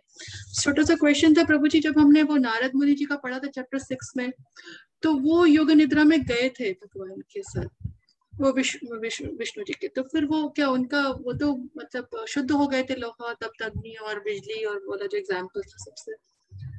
तो देखिए माता जी नारद मुनि की सारी लीलाई जो है ना, वो भगवान की स्वेच्छा से है। हाँ तो पूरी तरह से शुद्ध होने के बाद भगवान लीला चाहते थे, नारद मुनि से चाहते हैं मतलब अभी भी नारद मुनि विद्यमान है। इस पूरे अंत तक इस इस ब्रह्मा जी के पूरे अंत तक नारद मुनि रहेंगे, नारद मुनि के ही शरीर में रहेंगे। तो नारद मुनि को भगवान चाहते थे कि, देखिए, नारद मुनि तो भगवान के नित्य पार्षद है। बराबर है? वो कोई साधन सिद्ध भक्त नहीं है। नित्य सिद्ध भक्त है तो ये नारद मुनि का उपबरहन गंधर्व का रूप लेना और वहाँ पे फिर ब्रह्मा जी के शाप के कारण वो शुद्रानी के परिवार में जन्म लेना और उनकी माता का वो मृत्यु को प्राप्त हो जाना, ये सब लीला है। ये भगवान कुछ दर्शाने के लिए, भक्ति की महती दर्शाने के लिए दिखा रहे हैं ये सब कुछ।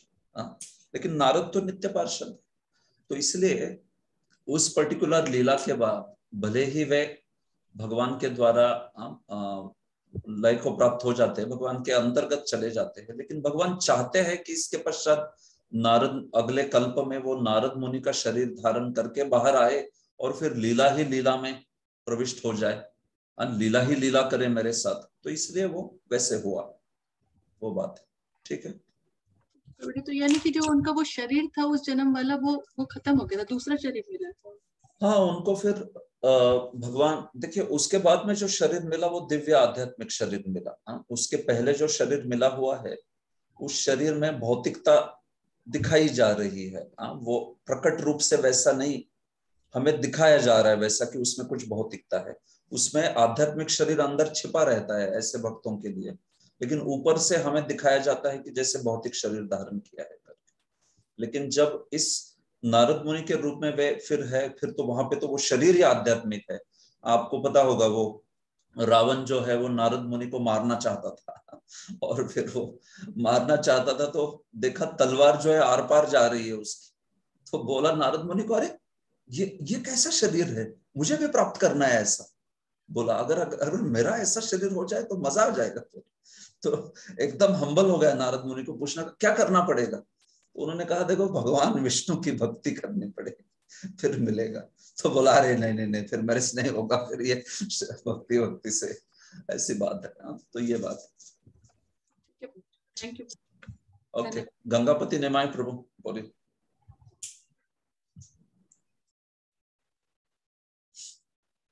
यस गंगापति निमाय प्रभु बोलिए। आवाज़ सुनाई नहीं दे रही है। अभी आ रहा है प्रभु जी? हाँ बोलिए बलराम प्रभु तो जो लास्ट टाइम आपने बोला था कि टीका से पढ़ा रहे हैं और ये जो नॉर्मल जो पढ़ा रहे हैं तो फीडबैक लेंगे ऐसा करके बोला था? तो हाँ, इसलिए तो फिर कुछ फीडबैक है क्या फीडबैक है फिर? तो मेरा फीडबैक था कि टीका अच्छा था ऐसे। अच्छा अच्छा।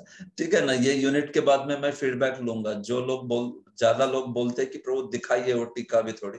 आप बताते रहे हो बता तो रहे हो लेकिन टीका भी दिखाइए। तो फिर दिखाऊँगा नो प्रॉब्लम चलेगा अभी तो मैं आपको बता रहा हूँ श्रीधर स्वामी क्या कहते हैं विश्वनाथ जी क्या कहते हैं जीव गोस्वामी ये कहते हैं। हाँ, लेकिन दिखा नहीं रहा कुछ भी। हाँ यस ठीक है। ओके। तो देखने में थोड़ा और क्लियर हो जाता है मतलब। हाँ बराबर है।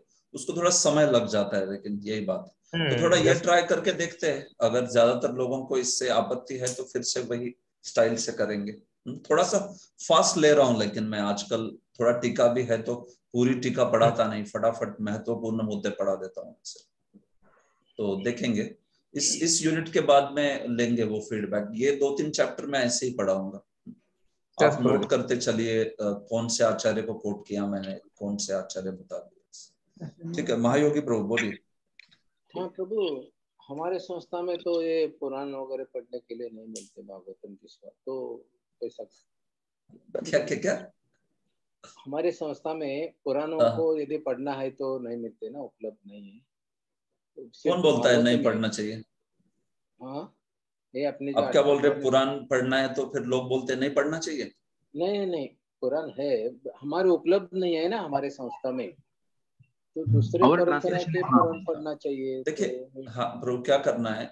देखिए सबसे पहले तो भागवत पुराण को बहुत गहराई से पढ़ना चाहिए। आ, सारे पुराणों का चक्रवर्ती है ये तो सम्राट है। तो इसलिए इसको बहुत अच्छा पढ़ना चाहिए आ, तो अगर भागवत पुराण भी पढ़ लेते हैं तो सब कुछ सिद्ध हो जाएगा। इसके परे जाके अगर माने मानिए और जानकारी के लिए किसी को विष्णु पुराण आदि पढ़ना है तो पढ़ सकता है अन्य अन्य जो भी अधिकृत अनुवाद है तो वो जो भक्त जानते हैं उनको पूछिए कि भाई अधिकृत अनुवाद कौन सा है कौन सा पढ़ सकते हैं। तो उसको लेके पढ़ सकते हैं हाँ। सात्विक पुराण पढ़ने में कोई आपत्ति नहीं है विष्णु पुराण आदि वगैरह। लेकिन हमारा क्या हो जाता है भागवत भागवत पुराण ही पढ़ के नहीं होता।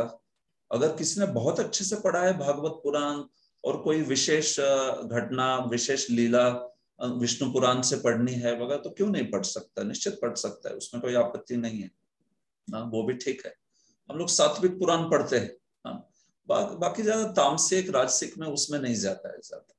अभी उसमें भी कोई राजसिक पुराण हो, लेकिन उसमें सेक्शन पूरा पूरा शुद्ध भक्ति का हो, जैसे ब्रह्म वैवर्त ब्रह्म वैवर्त पुराण में तो श्रीमती राधा रानी का ही गुणगान है कितना सारा।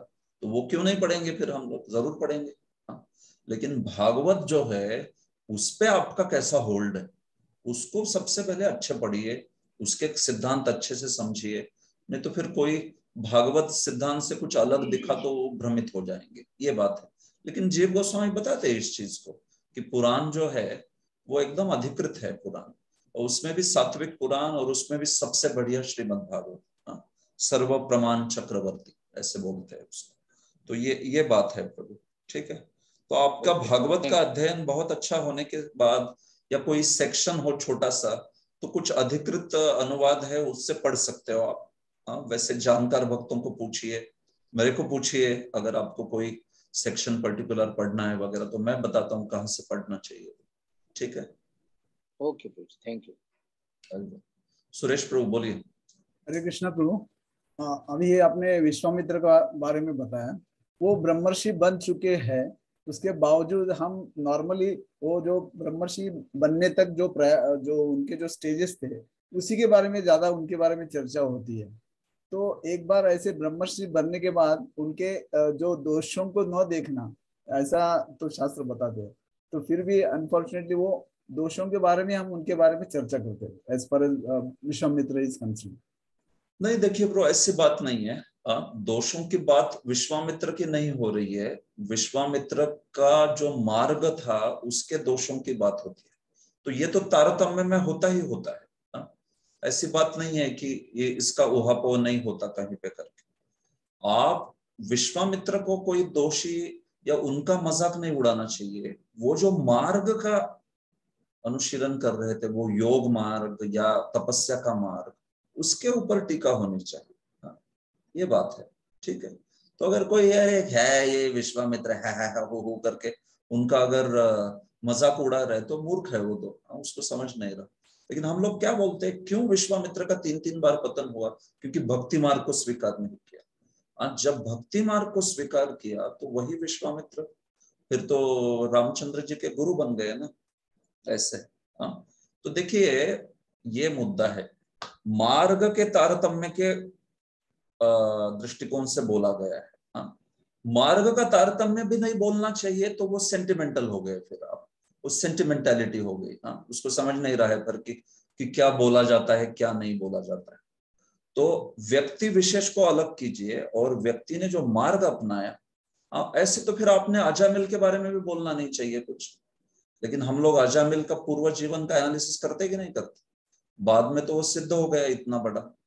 लेकिन क्यों करते हैं पूर्व जन्म के उसके पूर्व जन्म का एनालिसिस क्यों? क्योंकि उससे कुछ चीज़ें बताई जा रही है। भक्ति मार्ग का, हरिनाम का महात्म्य प्रकट हो रहा है। तो वैसे ही विश्वामित्र जी का भी है। वशिष्ठ की कितनी सारी चीज़ें बात करते हैं हम लोग। वशिष्ठ तो इतने महान है, लेकिन वशिष्ठ के भी कुछ पिछले गुणों का वर्णन करते हैं, कुछ पिछली घटनाओं का वर्णन आता है, शास्त्र आदि में। लेकिन शास्त्र का ऐसा प्रभाव होता है ऐसा भाव होता है, देखिए प्रभु, व्यक्ति विशेष में नहीं जाता है। वो उससे क्या सिद्धांत लिया जा रहा है, उसमें चला जाता है। और वैसा हरेक का भाव होना चाहिए वक्ता का।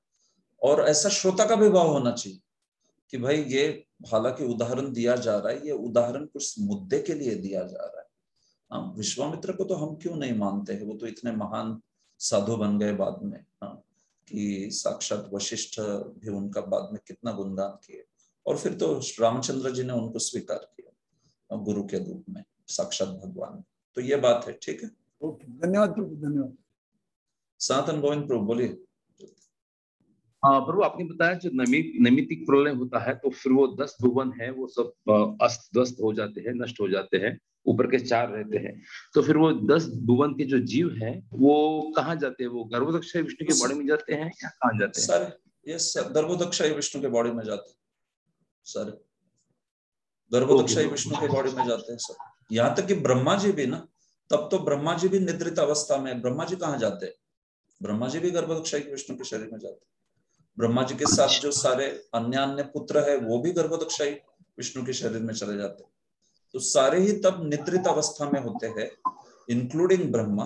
लेकिन बात है कि ब्रह्मा आदि का जब निद्रा से उठते हैं तो वही शरीर होता है जो पिछले दिन में भी था। बाकी जीवों का शरीर ध्वस्त हुआ रहता है।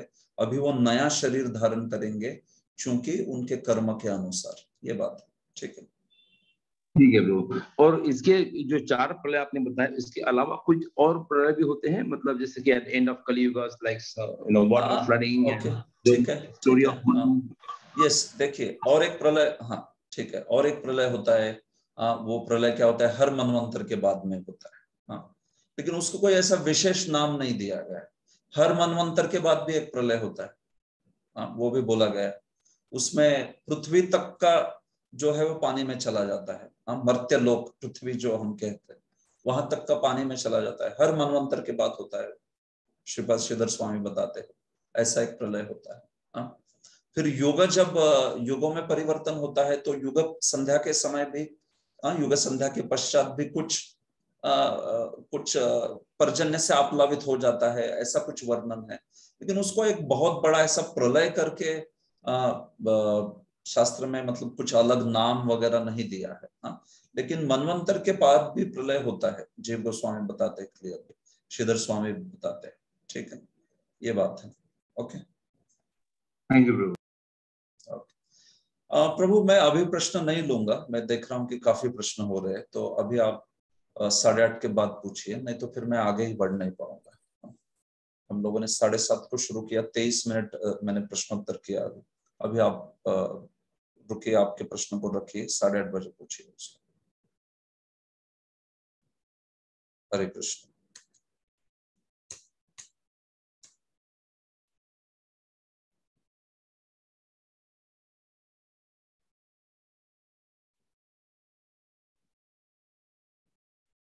ओके okay, तो इस प्रकार से चार श्लोक बोलने के बाद में आ, ओके प्रभुपाद जी का तात्पर्य शायद इस पे हमने देखा नहीं ओके ठीक है प्रोपा जी का तात्पर्य देखिए क्विकली वेदों की अनेक शाखाएँ, उपशाखाएँ हैं, तथा इसका विस्तार महान भक्तों यथा शिल व्यासदेव आदि ने किया। ठीक है। हाँ। तो उसमें खास करके लीला जो है श्री कृष्ण की तो प्रभुपद क्या के बोलते हैं, देखिए, वेदांत सूत्र या उपनिषदों में उनकी लीलाओं के गुहिया अंशों का संकेत मात्र हुआ है। हाँ।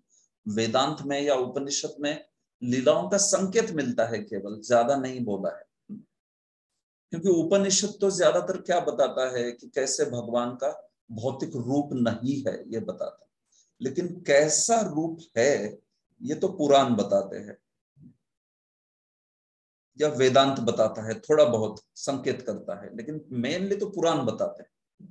पुराणों में वर्णन है, भगवान का रूप क्या है हाँ। तो क्या नहीं है, ये उपनिषद बोलता है। लेकिन क्या है वो पुराण बोलते हैं। और उसमें भी खास करके भागवत पुराण तो ये बात है। तो इसीलिए जब उपनिषदों का वर्णन होता है, उसमें रूप, नाम, गुण इत्यादि को इस जगत से भिन्न बोला गया है तो फिर कभी कभी अल्प बुद्धि वाले लोग निराकार मानते बैठते हैं भगवान को। हाँ कितने सारे लोग हैं ऐसे इस जगत में, है क्या उपनिषदों की बात पर बोलते हैं कि भगवान निराकार है। हाँ एक निराकार हाँ आप ही निरंकार हो, निराकार हो।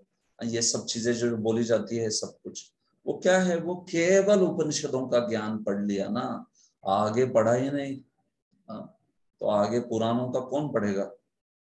पुराणों का ज्ञान कौन अर्जित करेगा?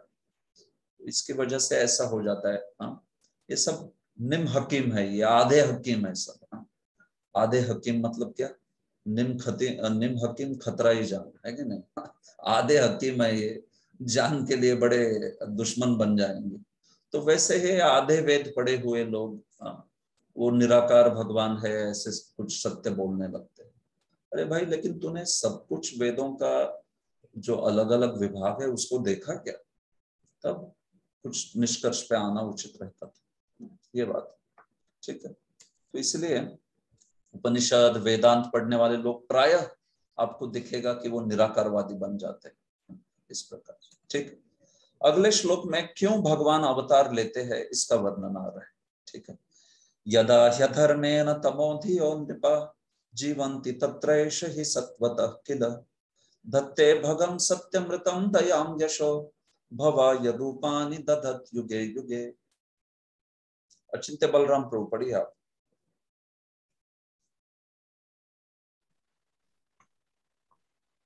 हरे कृष्णा अचिंत्य बलराम प्रभु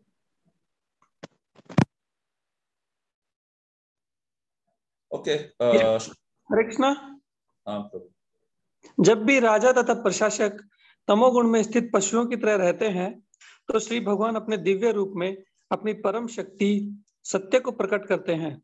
श्रद्धालु पर विशेष दया दिखाते हैं। अद्भुत कार्य करते हैं तथा विभिन्न कालों तथा युगों में आवश्यकता अनुसार विभिन्न दिव्य रूप प्रकट करते हैं। ठीक है धन्यवाद। तो देखिए ये ये श्लोक अभी स्त्रियाँ क्या बोल रही है? शांत रति वाली स्त्रियाँ बोल रही है कि भगवान के अवतार का प्रयोजन क्या होता है? हाँ क्यों भगवान इस जगत में अवतार लेते हैं?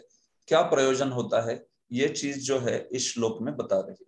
हाँ, देखिए मैं हर एक श्लोक के प्रारंभ में आपको उस श्लोक का प्रयोजन बता रहा हूँ। हाँ, इन चीज़ों को आप नोट करते जाइए कि क्या प्रयोजन से ये श्लोक बोला गया है ठीक है? ताकि फिर आप बाद में स्टडी करोगे तो आपको वो समझेगा कि इसके बाद क्या बोला जा रहा है इसके बाद क्या बोला जा रहा है हाँ? कभी कोई विशेष सेक्शन रहेंगे जैसे कुंती महारानी हो या फिर अन्य अन्य तब मैं बता भी देता हूँ आपको। आ, कुछ डॉक्यूमेंट भी बना के दे दूँगा लेकिन कुछ कुछ उतनी प्रसिद्ध प्रार्थनाएँ नहीं है तो बस समझा रहा हूँ आपको। हर श्लोक के प्रारंभ में जब उस श्लोक का प्रयोजन बताया जाता है तो उसको लिख के लेते जाइए। हाँ जैसे ये पच्चीसवा श्लोक बोल रहा है कि भगवान जब अवतार लेते हैं तो उस क्या कारण से अवतार लेते हैं? क्या प्रयोजन होता है? हाँ श्रीधर स्वामी कहते हैं इसको, एवं भूतस्य नानावतारे कारण माहु हाँ कि भाई, इन भगवान के नाना अवतार का कारण बोला गया है इस श्लोकों में। तो क्या है कारण वो? यदा ही अधर्मे न तमोधियो नृपा जीवंती तत्रेश ही सत्वतः? देखिए, जब अधर्म के कारण तमोगुण से जिनका पूरा बुद्धि व्याप्त हो गया है, ऐसे राजा, तमोगुणी राजा, आसुरी राजा, जब अधर्म से जीने लगते हैं जीवंती मतलब जीते हैं, कैसे अधर्मे न कौन? तमोधिया नृपा तमोधी वाले बड़े तमोगुण में जो जिनकी बुद्धि पूरी पूरी तरह से तमोगुण से लिप्त है, ऐसे राजागण जब अधर्म से जीते हैं, तब ये भगवान क्या करते हैं?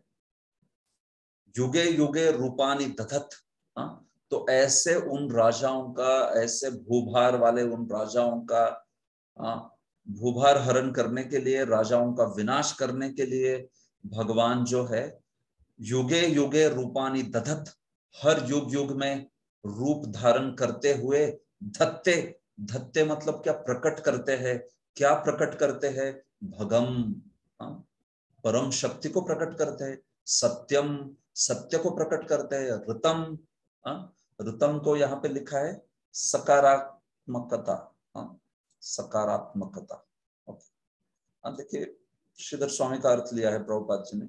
ऋतम मतलब यथार्थ उपदेशकत्व यथार्थ रूप से उपदेश करना, उसको कहते हैं ऋतम। भगवान आते हैं और यथार्थ रूप से उपदेश करते हैं, जैसे कपिल आदि हो हाँ? यथार्थ रूप से उपदेश करके चले गए हाँ? तो वो ऋतम कहते हैं दया दया को प्रकट करते हैं, यश को प्रकट करते हैं, अद्भुत कार्यकलाप भगवान के हाँ? तो ऐसे रूप धारण करते हुए इन गुणों को प्रकट करते हैं ऐसा बोला जा रहा है। समझ रहे इस चीज़ को? भवाय जीवों के कल्याण के लिए जीवों के पालन के लिए रूप धारण करते हुए इन गुणों को प्रकट करते हैं। कौन से गुणों को? भग सत्यम ऋतम दया यश हाँ, ये सब चीज़ें प्रकट करते ये उनके अवतार का प्रयोजन है। मतलब देखिए, वही है परित्राणाय साधु नाम वाला भाव, विनाशाय च दुष्कृताम वाला भाव हाँ। जब ऐसे तमोधिय नृप ऐसे तमोगुणी राजा सब जगह हो जाते हैं, जीने लगते हैं, अधर्म से अधर्म से उत्पात करते तब उनके विनाश के लिए भगवान आते हैं। वो क्या है? वो विनाशाय दुष्कृताम वही चीज़ बोली जा रही लेकिन और फिर आते हैं तब सुंदर सुंदर रूप लेके आते हैं और गुण प्रकट करते हैं, सुंदर गुण जैसे वैभव, सत्यता, विशेष दया, अद्भुत कार्य, यश आदि उन सबको प्रकट करते हैं। ये बात यहाँ पे श्लोक में बोली गई है, ठीक है? तो देखिए, इसमें प्रभुपाद जी क्या कहते हैं? प्रभुपाद जी कहते हैं शुरुआत में पहले तो प्रभुपाद जी कहते हैं कि वो अधर्म क्या है? इसकी बात करते हैं। भगवान की अनुमति बिना कोई भी व्यक्ति किसी दूसरे व्यक्ति या पशु के अधिकार पर अतिक्रमण नहीं कर सकता। ईशावास्यम इदम सर्वम यत्किंच जगत्याम जगत। केन त्यक्तेन भुंजिता माँ गृध कस्य स्विधनम ये पहले पैराग्राफ में बोला है। तो जो इसका पालन नहीं करते ना, वो अधर्म है। ऐसा प्रभुपाद जी कह रहे अधर्मेन श्लोक में शब्द था ना? अधर्मेन तो उसके लिए प्रभुपाद जी ने पहले बात की कि भाई क्या है अधर्म? तो ईशावास्य तत्वों को पालन न करना, उसको कहते अधर्म। तो कोई भी किसी अन्य व्यक्ति के अधिकार पर अतिक्रमण नहीं कर सकता एक्चुअली नहीं करना चाहिए। लेकिन क्या हो जाता है? समय समय पर भौतिक प्रकृति के निम्न गुण, तमोगुण के प्रभाव से राजा तथा प्रशासक बिना किसी ज्ञान तथा उत्तरदायित्व के सत्तारूढ़ हो जाते और ऐसे मूर्ख प्रशासक अपने व्यक्तिगत स्वार्थ के लिए पशुओं की तरह रहते हैं। अधर्मे न जीवंती। हाँ, प्रभुपाद कहते हैं पशु की तरह जीता है लिटरली हाँ, जैसे तमोगुण में पूरा पूरा लिप्त कौन रहता है? पशु तो रहता है ना। तो इसलिए प्रभुपाद जी वैसा अनुवाद करते हैं कि पशु की तरह। जैसे कोई तमोगुणी पशु होता है वैसे। तो इसलिए फिर ऐसे लोगों का विनाश करने के लिए भगवान आते हैं फिर वहाँ पर उस वक्त। तो ये बात है। प्रभुपाद जी कह रहे आज की तारीख में भी देखिए मानव समाज में भाई भतीजावाद, घूस, धोखाधड़ी, मारामारी तथा इसके कारण दुर्भिक्ष, रोग, युद्ध हाँ सब जानते ही आप हाँ। आज की घड़ी में कितना राजनेता क्या क्या कर रहे हैं, क्या नहीं कर रहे हैं हाँ। महाराष्ट्र में तो आप सब परिचित ही हो हाँ। क्या कुछ नहीं हो रहा है। कितना भ्रष्टाचार, कितना ये, सर्वत्र ही हाँ। कहाँ कम, कहाँ ज़्यादा। लेकिन ये बात है तो ये ऐसी स्थिति है कि जहाँ पे सब कुछ तमोगुण के कारण हम लोग देखते हैं कि ऐसे राजा वगैरह बहुत भूभार बन जाते हैं। तो फिर भगवान आके वो जो है भूभार हरण करने के लिए अवतार लेते हैं। खास करके कलयुग में भगवान अवतार लेते नहीं। भगवान जो है वो कली काले नाम रूपे कृष्ण अवतार या आते हैं तो छन्न अवतार के रूप में आते हैं, है कि नहीं? महाप्रभु जो है कलयुग में लीला अवतार नहीं होता है भगवान का। कलयुग में केवल भगवान का लीला अवतार नहीं होता है शक्तिवेश अवतार होते हैं भगवान के। लेकिन जब महाप्रभु आते हैं तो वो एक विशेष ब्रह्मा जी के दिन के सातवें जो चतुर्युग है, उस सातवां मनवंतर है, उसमें अट्ठाईसवा चतुर्युग है, उसके द्वापर युग में एक विशेष भगवान स्वयं आते हैं और उसके बाद चैतन्य महाप्रभु आते हैं। वो छोड़ा ना तो कोई भी कलयुग में लीलावतार होता ही नहीं भगवान। तो ये विनाशाय दुष्कृताम, धर्म संस्थापनार्था ऐसा कुछ नहीं होता है। क्योंकि कलयुग में भगवान अवतार ही नहीं लेते, त्रियुगी कहते हैं उनको इसलिए। केवल अट्ठाईसवे दिव्य युग में आते हैं ब्रह्मा जी के, एक दिन में एक बार। साक्षात भगवान आते हैं। बाकी टाइम पे शक्तावेश रहते हैं तो ये कलयुग अगर आपने छोड़ा ना अट्ठाईसवे दिव्य युग का उसके बाद में जो कलयुग का भी अवतार होता है वो भी शक्तावेश ही होता है। हाँ। मतलब चैतन्य महाप्रभु छोड़ के अन्य चतुर्युग में कलयुग में जो नाम प्रचार संकीर्तन करने वाले अवतार है भगवान के वो भी जीव ही होते हैं। हाँ, वो साक्षात भगवान नहीं होते। लेकिन भगवान चैतन्य महाप्रभु ही साक्षात भगवान है, जो ब्रह्मा जी के एक दिन में एक बार आते हैं। तो कहने का मेरा तात्पर्य यह है कि कलयुग में ये जो विनाशाय जो दुष्कृताम धर्म संस्थापनार्थ ये सब कुछ नाम के प्रभाव से होता है। भगवान स्वयं नहीं आते कभी भी। लीला अवतार करते नहीं भगवान। सारे कलयुग के अवतार जो है वो शक्तावेश अवतार होते हैं। हाँ? बुद्ध लीजिए शक्तावेश अवतार। कल की लीजिए शक्तावेश अवतार। हाँ। फिर यू नो जो कलयुग के युगावतार है, वो भी शक्तावेश अवतार। हाँ? केवल चैतन्य महाप्रभु को छोड़ के, जो कि एक विशेष काल में आते हैं ब्रह्मा जी के एक दिन में एक बार। तो ये बात ठीक है। लेकिन अन्य अन्य युगों में लीला अवतार करके भगवान ये बात करते हैं परित्राणाए साधु नाम विनाशाय दुष्कृता तो जब भगवान आते हैं तो भौतिक गुणों से वे रंच मात्र भी प्रभावित नहीं होते हैं प्रभुपाद जी बोलते हैं। तो ये क्या बोला जा रहा है? श्लोक में देखिए ये शब्द बोला जाए सत्वतः एक्चुअली हाँ, ये सत्वतः विशुद्ध सत्वतः है। आप श्रीधर स्वामी की टीका पढ़ोगे तो तुरंत उस सत्वतः को वो क्या कहते हैं? विशुद्ध सत्वेन हाँ, वो सत्व गुण की बात नहीं करते विशुद्ध सत्व की बात करते। तो इसी को प्रभुपाद जी ने तात्पर्य में इस बात को छेड़ा है। क्या कि भगवान के जो रूप होते हैं, भौतिक गुणों के रंच मात्र से प्रभावित नहीं होते, क्योंकि वो विशुद्ध सत्व होते हैं, ये बात बताई जा रही आगे। तो उसी थीम को लेके प्रभुपाद पैराग्राफ लिखते हैं पूरा। जब वे अवतरित होते हैं, तब वे अपने परम सत्ता सिद्ध करने हेतु अलौकिक कार्य करते हैं। अभी ये कौन से श्लोक के कौन से अंग को बोला है? देखिए, ये बोला है धत्ते के लिए। धत्ते, और उस धत्ते में प्रभुपद जी यश धत्ते पे ज़ोर देते हैं। हाँ। यश धत्ते, कुछ अलौकिक करते हैं, अद्भुत करते हैं। इसी बात पर प्रभुपद जी ने बची हुई टीका लिख दी है अपनी सारी। हाँ। जिसको श्लोक समझता है, उसको सब समझता है कि भाई तात्पर्य में क्या लिखा है, कहाँ से आया, कौन से मुद्दे से कनेक्टेड है, ये जो है। तो ये बात है। जब वे अवतरित होते हैं तो अपनी परम सत्ता सिद्ध करने हेतु अलौकिक कार्य करते हैं। दैट इज़ यश धत्ते। हाँ। भगम धत्ते, यश धत्ते। कैसे कैसे अलौकिक कार्य करते हैं? जैसे रावण, हिरण्य कशिपु कंस जैसे लोगों को दंड कर देते हैं, दंडित कर देते हैं। श्री राम अवतार में भगवान हिंद महासागर पर सेतु बांधते हैं। और हमारे श्री कृष्ण का तो क्या कहना? वो तो पूतना, अघासुर, शक्तासुर जैसे असुरों का वध हाँ, कुछ दिनों के है तभी कर लेते। छह दिनों के थे तब पूतना का वध कर दिया। तीन महीने के थे तब अगासुर का तृणावत का वध कर दिया। हम्म, शक्तासुर का वध कर दिया। कितने मतलब भगवान तो बड़े। अलौकिक कार्य करते हैं ये बात है। ठीक है आगे बढ़ते अहो अलम श्लाघ्य तमम यदोकुलम अहो अलम पुण्यतमम मधोर्वनम।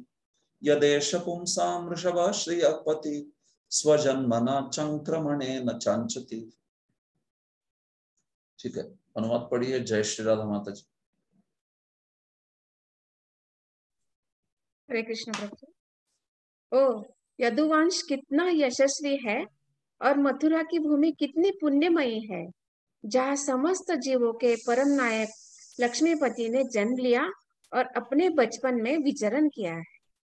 थैंक यू तो अभी देखिए, छब्बीसवें श्लोक में क्या हो रहा है छब्बीसवें श्लोक में भगवान जो है, उनकी नगरी का गुणगान हो रहा है हम्म। विश्वनाथ चक्रवर्ती कहते हैं, जैसे पिछले श्लोक में भगवान के आने के प्रयोजन के संदर्भ में काल की बात हो गई, काल, हा? काल देश पात्र होता है ना तो काल की बात हो गई, कब भगवान आते हैं जब जब ये ऐसे सब राजा लोग तमोगुण से, अधर्म से जीते हैं तब। इस श्लोक में विश्वनाथ चक्रवर्ती कहते हैं, देश की बात हो रही है। हाँ देश। मतलब कि भगवान जिस जगह में आते हैं, या सॉरी पात्र की बात हो रही देश की नहीं, देश की तो आगे आएगी उसके अगले सत्ताईसवें श्लोक में देश की बात होगी छब्बीस में पात्र की, यदोकुलम, है कि नहीं? देश काल पात्र, आप जानते हो ना, तीन चीज़ें होती है। तो पच्चीस में बात हुई काल की छब्बीस में बात बात हुई पात्र मतलब जिनके वंश में भगवान आते हैं या जिनके साथ लीला करते हैं हाँ, वो सब कुछ जो है वो पात्र हो गया। और फिर अंत में देश की भी बात होती है मतलब कौन से स्थान पे आते हैं हाँ, तो जैसे कि द्वारका जैसे कि मथुरा वृंदावन ये इस प्रकार से। तो ऐसा एनालिसिस जो है विश्वांत चक्रवर्ती ने किया है। या फिर श्रीधर स्वामी के एनालिसिस से आप आगे बढ़ रहे हो तो श्रीधर स्वामी क्या कहते हैं कि देखिए बोलते हैं कि अभी पाँच लोग मतलब 26, 27, 28, 29 और 30 ये भगवान के लीला से संबंधित इस जगत की जो चीज़ें है इस जगत का स्थान इस जगत का वंश हाँ, ये जो है इसका वर्णन बचे हुए पाँच श्लोकों में हो रहा है। मतलब भगवान की लीला से संबंधित स्थान भगवान की भगवान की लीला संबंधित वंश भगवान की प्रियाएँ भगवान की रानियाँ इन सब का गुणदान बचे हुए पाँच श्लोकों में होता है। ऐसे श्रीधर स्वामी कहते हैं ठीक है? श्री कृष्ण अवतार से संबंधित चीज़ों का पाँच श्लोकों में गुणगान हो रहा है। तो देखिए अहो अलम श्लाघ्य तमम यदोकुलम। हाँ। क्या बोला जा रहा है? कि ये यदुकुल जो है कितना श्लाघ्यतम है। हाँ, सर्वाधिक यशस्वी है।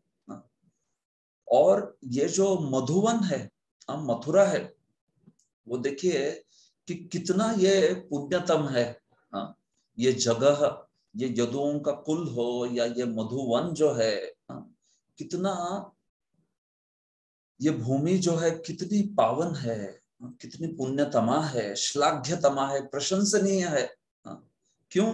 यदेश पुमसाम ऋषभ श्रियपति क्योंकि भाई इसी जगह पे जो पुमसाम ऋषभ परम पुरुष भगवान श्रीयपति लक्ष्मी जी के पति श्री कृष्ण वे क्या करते हैं? स्वजन्मना चंक्रमने न चांचती हम बोलते हैं कि अपने जन्म आदि लीलाओं से, कार्यों से, इस भूमि पर विचरण से चंक्रमने न चांचती इस भूमि को पूजित कर दिए इस भूमि को पूज्य बना दिए।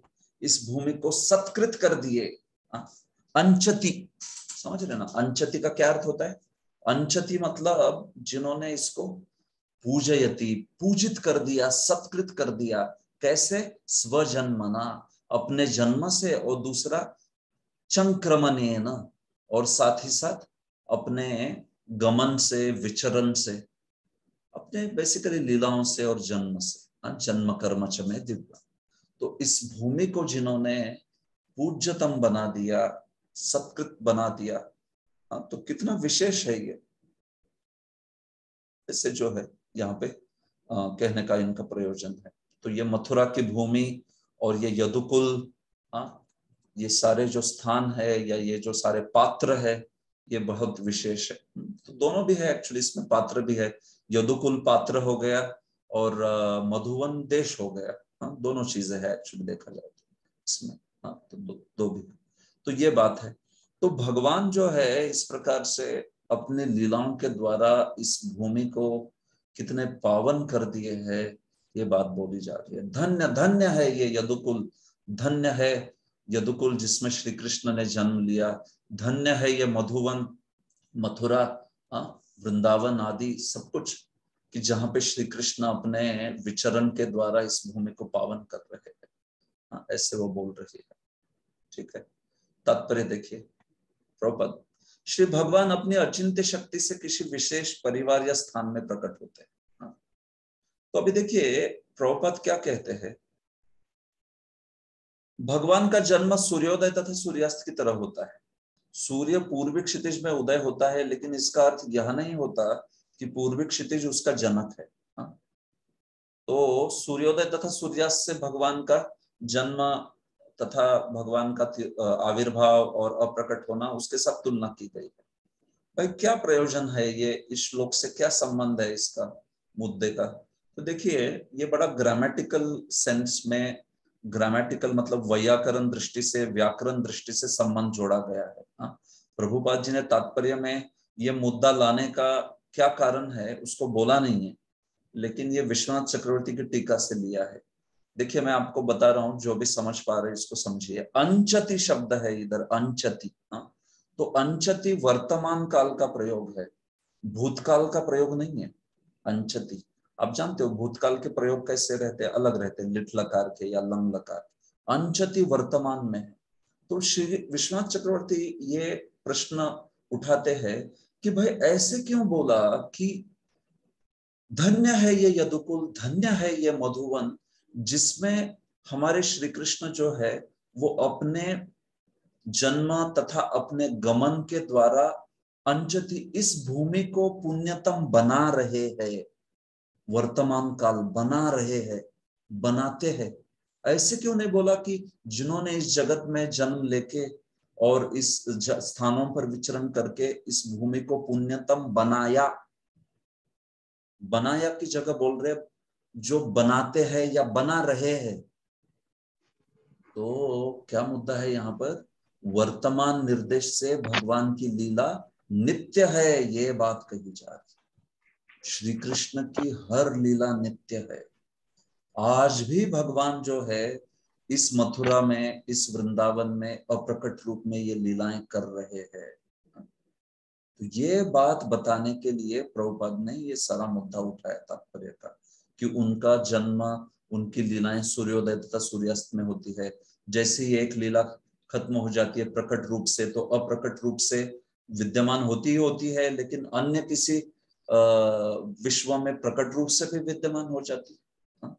दो प्रकार से होती है लीलाएँ। देखिए ऐसा होता है, यहाँ पर मथुरा वृंदावन में जब उनकी अप्रकट मतलब प्रकट लीला खत्म होती है ना तो सारी लीलाएँ अप्रकट रूप में फिर विद्यमान होती रहती इसी जगह पर। और अन्य कोई विश्व में प्रकट रूप से विद्यमान होती तो फिर भगवान का लीला अस्त कहाँ हुई? वो तो सूर्योदय सूर्यास्त की तरह है ना, जहाँ एक जगह सूर्योदय हो गया तो दूसरी जगह सूर्यास्त। हाँ ये बात है। तो ये नित्यता बताने के लिए प्रभुपद जी ने यह मुद्दा उठाया। शायद आप इसको पकड़ नहीं पाते थे। अंचति से आया है वो वर्तमान निर्देश के कारण। हाँ नहीं तो फिर भूतकाल का प्रयोग होना चाहिए था। इसलिए भगवान की लीला नित्य है, ये समझाया जा रहा ठीक है, आगे। यदि कोई भगवान के दिव्य जन्म तथा कर्म के मर्म को तात्विक रूप से समझ लेता है तो वह तुरंत मोक्ष पा लेता है। तो ये तो जानते हो आप जन्म कर्म जन्म कर्म एवं आगे, यदि भगवान के जन्म तथा कर्म की दिव्य प्रकृति को जान लेने मात्र से सरलता से मोक्ष मिल सकता है तो फिर जिन लोगों ने उनके पारिवारिक सदस्य के रूप में या पड़ोसी के रूप में भगवान का संग किया है, उनके भाग्य का क्या कहना तो प्रभुपाद जी अंत में कई मुत्य न्याय लगाते हैं, बोलते हैं कि अगर जन्म कर्म में दिव्यम जानने वाला अगर भगवान के धाम को प्राप्त करता है तो फिर भगवान के साथ जो लीला किए उठे बैठे खाए पिए वो यदुकुल हाँ, या भगवान के प्रेमी जन उनकी क्या बात करे? कितने महान है आ, उनका क्या भाग्य है? ये बात जो है इसलिए यदोकुलम इसलिए अलम श्लाघ्यतम क्या वो यदुकुल श्लाघ्य है? कितनी प्रशंसा करे उसकी कि जिसके जिस कुल में साक्षात श्री कृष्ण जो है जन्म लिए और ऐसे सुंदर सुंदर लीलाएँ किए, ये बात बोली जा रही ठीक है? आगे। अहो बत स्वर यशस्तिरस्करी, कुशस्थली पुण्य यशस्करी भुव। पश्यन्ति नित्यं यदनुग्रहेशितं स्मितावलोकं स्वपति स्मयत प्रजा। ओके कृष्ण नाम प्रभु अनुवाद पढ़िए।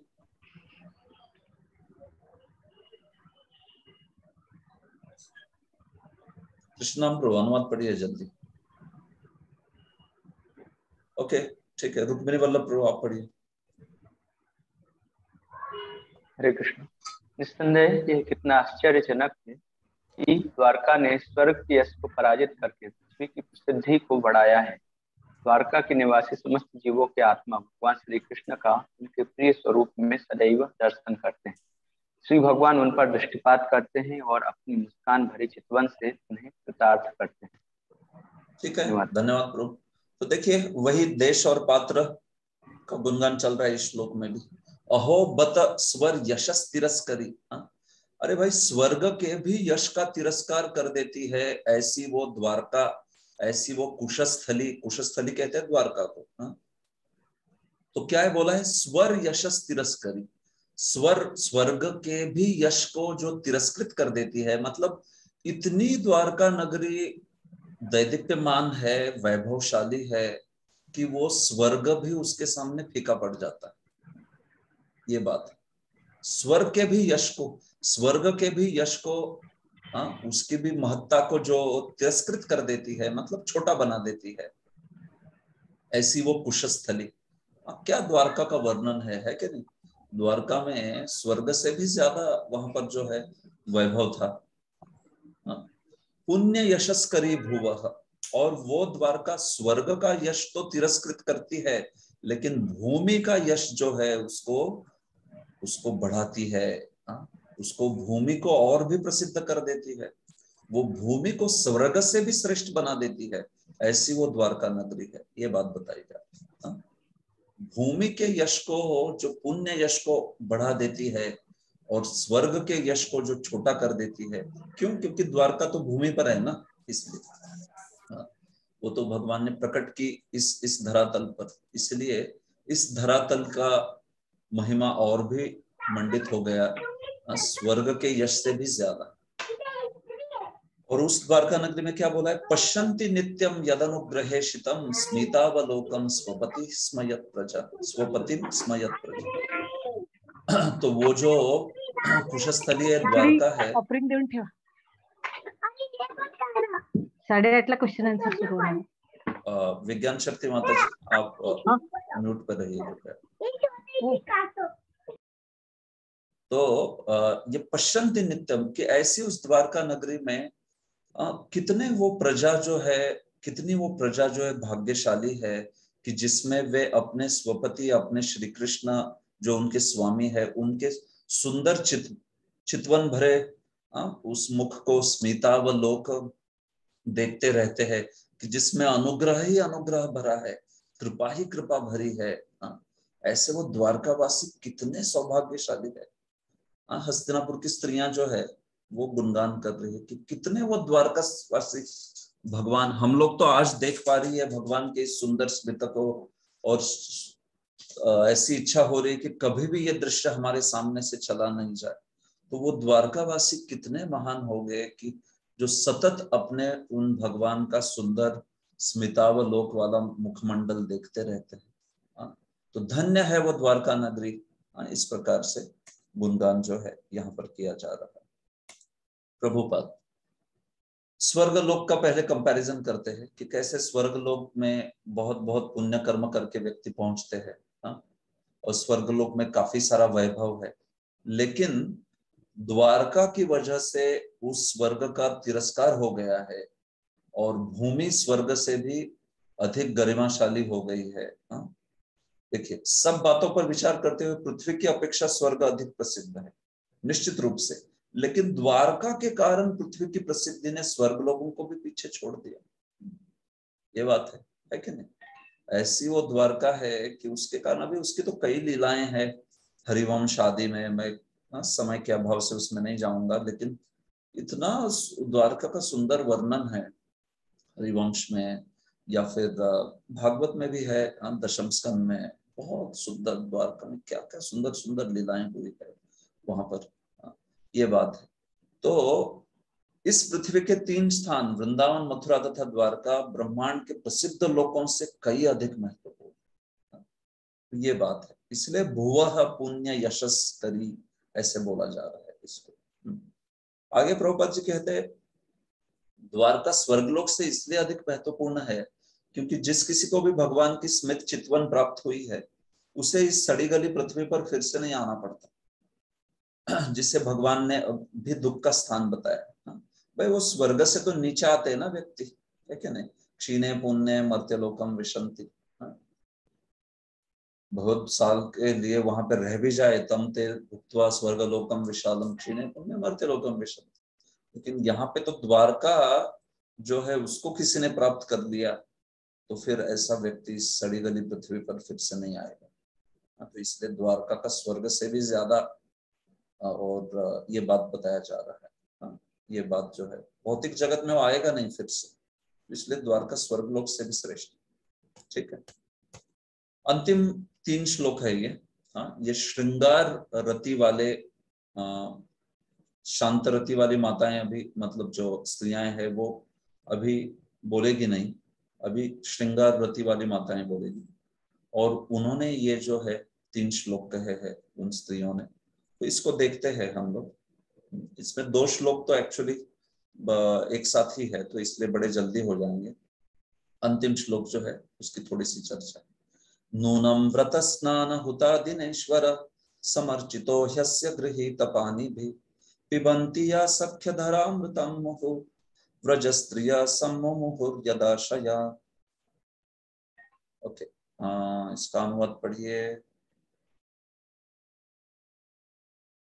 राधिका रुचि माता जी अनुवाद पढ़िए अनुवाद पढ़िए इसका।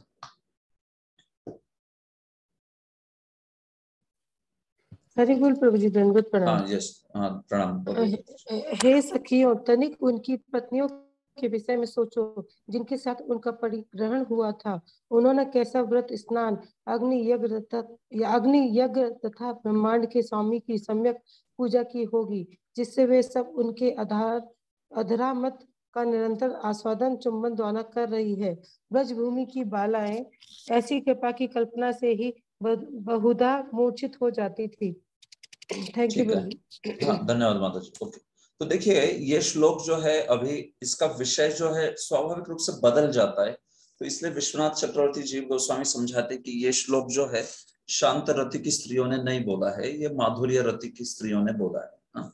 उसके विषय वस्तु से ही समझ जाता है कि वो जो श्लोक है, वो इस प्रकार से बोला। तो इसलिए सत्ताईस मतलब इस श्लोक से अट्ठाईस, उन्तीस, तीस, ये तीन श्लोक जो है, ये आप जानिए कि श्रृंगार रति या माधुर्य रति वाली स्त्रियों ने बोले हैं। ठीक है? तो क्या बोल रहा है ये श्लोक देखिए नूनम व्रत स्नान हुता दिनेश्वर समर्चितो ह्यस्य गृहित पानी भी। एक्चुअली जिन्होंने भगवान का पानी ग्रहण किया है, वो भगवान की रानिया गृहित पानी भी वो भगवान की द्वारका की रानियाँ जिन्होंने भगवान का पानी ग्रहण किया है, कितना उन्होंने अपने पिछले जीवन में उन्होंने भगवान को कितना अच्छे से अर्चन किया होगा, व्रतों के द्वारा तीर्थ क्षेत्रों में स्नानों के द्वारा, यज्ञों के द्वारा, इन सब के द्वारा उन्होंने भगवान की कैसी समर्चना की होगी कि जिसके कारण ये रानियाँ भगवान के पानी ग्रहण कर पाई और उसके कारण वे भगवान का अधरामृत जो है हाँ भगवान के अधरों का अमृत पान कर पा रही है क्योंकि उनकी पत्नी है हाँ, पिबंती या सख्य धरामृतम मुहु व्रज स्त्रिय सम्मो मोह यदाशय तो क्या सौभाग्य होगा? तो स्वाभाविक रूप से वो उस सौभाग्य के बारे में वर्णन कर रही है जो एक श्रृंगार रस के भक्त के लिए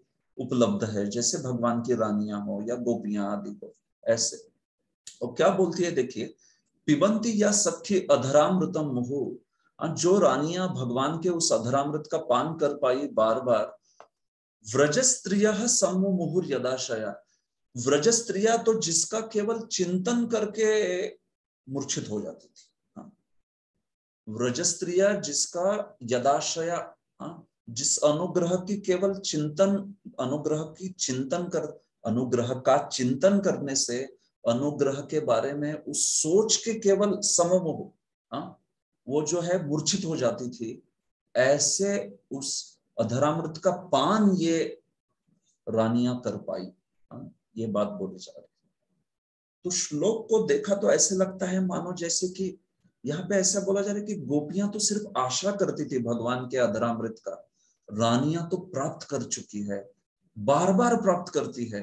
तो ये रानियाँ गोपियों से श्रेष्ठ है। ऐसा श्लोक का कुछ भाव प्रकट हो सकता है यहाँ पर। ऐसा लग रहा होगा आप आप में से भी। है कि नहीं? कुछ। क्योंकि क्या बोला जा रहा है? पिबंती या सख्य। अरे भाई, ये ये रानियाँ बार बार भगवान के धरामृत का पान करती है, जिसका केवल आशा करके गोपियाँ तो बेचारी, केवल आशा से ही गोपियाँ तो बेचारी केवल उसका केवल चिंतन करके ही मूर्छित हो जाती थी। ऐसी बात किया गया यदाशया जिसकी आशा से, जिसके आशय से ऐसे लेकिन इस श्लोक को विश्वनाथ चक्रवर्ती ने बड़े सुंदर भाव से एक्सप्लेन किया है कि एक्चुअली हस्तिनापुर की स्त्रियाँ जो है ना, गोपियों को ही श्रेष्ठ कह रही है आ? क्या भाव है इसमें ऐसा भाव है कि अरे भाई, गोपियाँ तो इतने उत्कट प्रेम वाली है कि केवल श्री कृष्ण के अधाम अधरामृत का पान करना इसका केवल विचार भी उनको मूर्छित कर देता है। तो एक्चुअली में वैसा हुआ आ, वैसा उनका भगवान का आदान प्रदान हुआ उनका तो वो तो क्या होगा? वो तो फिर उनके प्रेम का उत्कट अवस्था क्या होगी उन्माद की? ऐसे बोला जा रहा है। जो वो सोच के मूर्छित हो जाती है तो जब एक्चुअली में भगवान का उनका वैसा आदान प्रदान होता था भगवान उन पर वैसा अनुग्रह करते थे तो उनका क्या होता होगा? हा? ऐसे बोला जा रहा है। एक्चुअली व्रज स्त्रिया ही श्रेष्ठ है। रानियों से ज़्यादा श्रेष्ठ है। उनका प्रेम इतना उत्कट है ना कि उनको स्मृति भी आती थी ना। श्री कृष्ण के साथ पिछली रात में लीला में ऐसा कुछ श्री कृष्ण ने उनको श्रृंगारिक आदान प्रदान किया तो उसके याद से गोपियाँ मूर्छित हो जाती थी। आप सोचिए। तो वो उनका उत्कट प्रेम था, वो उनकी विशेष था यहाँ पे रानियाँ वगैरह उनका भी प्रेम था, लेकिन वैसी उत्कटता जो गोपियों की थी, जो कि केवल याद करके मूर्छित हो जाएगी, ऐसी उत्कटता रानियों की बोली नहीं है। तो इसीलिए गोपियाँ श्रेष्ठ है इसमें।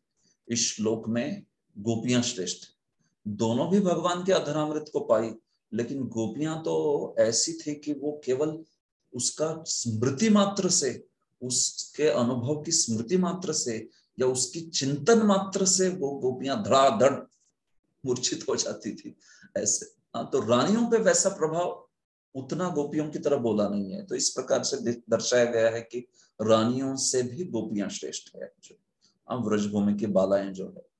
ये बात है ये। हाँ ये सब भगवान का शुद्ध आदान प्रदान है प्रेम है ये सब प्रेम की बातें है एक्चुअली हाँ, हम लोग तो इसके ज़्यादा काबिल भी नहीं है ये सब चीज़ें बोलने की। जितना श्लोक में जितना बोला है उतना ही मैं आपको भी बोल रहा हूँ हाँ, उतना ही समझा रहा हूँ और कुछ नहीं। आगे। तो ये बात है। तो प्रभुपत जी आगे, देखिए तात्पर्य में क्या लिखते शास्त्रों में दिए गए धार्मिक अनुष्ठान बद्ध जीवों को सांसारिक गुणों से परिशुद्ध करने के निमित्त है, जिससे वे धीरे धीरे परमेश्वर की दिव्य सेवा करने का अवसर पाने की अवस्था तक ऊपर उठ सके। शुद्ध आध्यात्मिक जीवन इस अवस्था को प्राप्त करना सर्वोच्च सिद्धि है। तो देखिए प्रभुपाद जी कहते हैं कि धीरे धीरे धार्मिक अनुष्ठानों से हमें सांसारिक गुणों से परिशुद्ध होना है। और फिर अंत में हम लोग हमारे सर्वोच्च अवस्था में शुद्ध अवस्था में भगवान की सेवा के पात्र बन जाते हैं। हम्म, भगवान से शांत दास्य माधुर्य आदि एक रस में हम लोग जो है उनकी सेवा कर पाते हैं। तो यहाँ पर माधुर्य रस के भक्तों के गुणगान जो है यहाँ पर हो रहे हैं। माधुर्य रस के जो भक्त है उनका गुणगान यहाँ पर हो रहा है? हाँ, तो ये जो सखियाँ है, स्वाभाविक है, अपने रस के अनु, अनुरूप उन उन प्रकार का गुणगान करेगी ना। शांत रति वाली थी तो भगवान का सृष्टि में कार्य और भगवान के आने का प्रयोजन, ये सब चीज़ें उन्होंने बोली, शांत रति वाली। लेकिन ये माधुर्य वाली है ना तो ये स्वाभाविक रूप से जो माधुर्य में भगवान से बहुत निकट है, ऐसी गोपियाँ हो, या फिर व्रजबालाएँ हो, या फिर रानियाँ हो, उनके सौभाग्य का वर्णन कर। Birds of same feather flock together है कि नहीं? तो ये उनका गुणगान कर रही है। तो ये स्वकीय जो है वो रानियाँ है, परकिया जो है वो राधा रानी आदि गोपियाँ वगैरह सब है, वृंदावन की गोपियाँ, गोप बाला है परकीय भाव में होती है वो। और स्वकीय यानी जिनसे भगवान का विवाह हुआ है करके तो देखिए प्रभुपाद जी कहते द्वारका की रानियाँ स्वकीय थी, अर्थात वे विधिवत रूप से ब्याही हुई थी, लेकिन ब्रज की बालाएँ उनकी सब तरुण मित्र थी। जब वे अनब्याहे थे तो ये भगवान की सहेलियाँ, भगवान के प्रियाएँ हैं सारी। जो व्रज बालाएँ हैं वो ऐसे। और ये भगवान के भगवान का जो प्रेम का प्राकट्य है, वो इन दो प्रकार से स्वकीय और परकीय भाव में होता रहता है। तो ये बहुत उच्च स्तर पे बातें हैं एक्चुअली ये सब। क्यों परकीय भाव का वो स्वीकार करते हैं? कैसे उस भाव में एक एक उत्कटता है उसमें एक साहस है उसमें एक थ्रिल है थ्रिल हाँ वो परकिया भाव वाला। तो वो भौतिक जगत का नहीं है वो आध्यात्मिक जगत का है तो उसमें आध्यात्मिक जगत की शुद्धता आदि है। तो जो भी है इस प्रकार से परकीय और स्वकीय में परकिया जो भगवान की भक्ता है हाँ, जो कि व्रजबालाएँ हैं वो श्रेष्ठ मानी गई है। द्वारका की रानियों से भी हाँ ये बात है।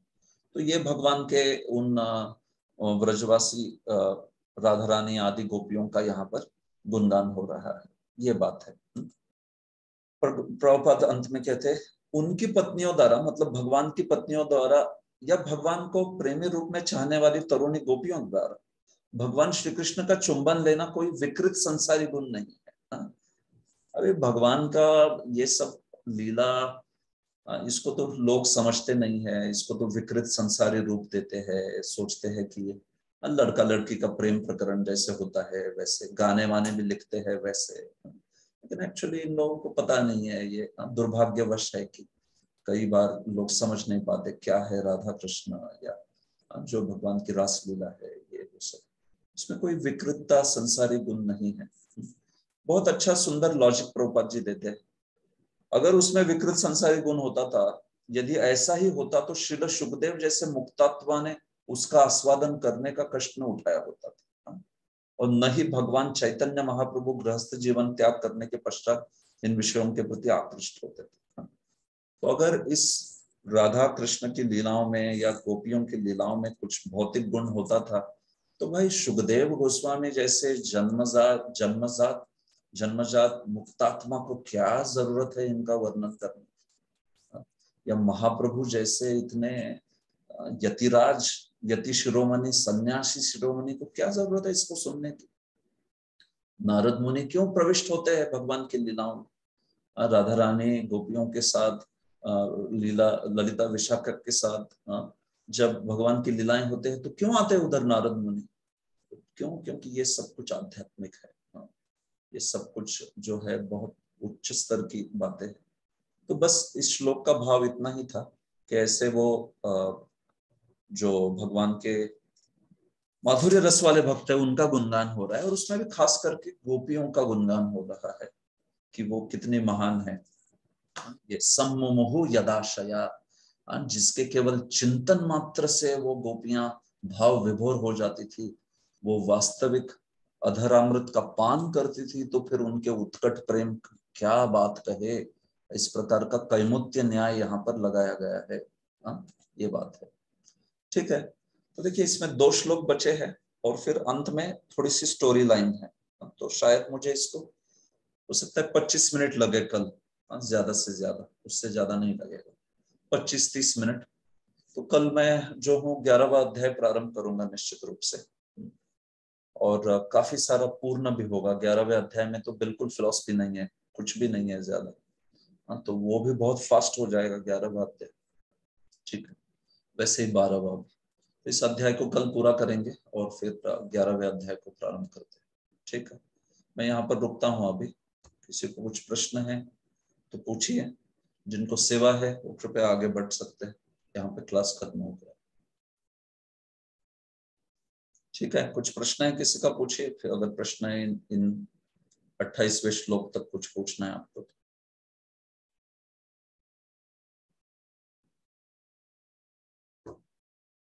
नामावतार प्रभु बोली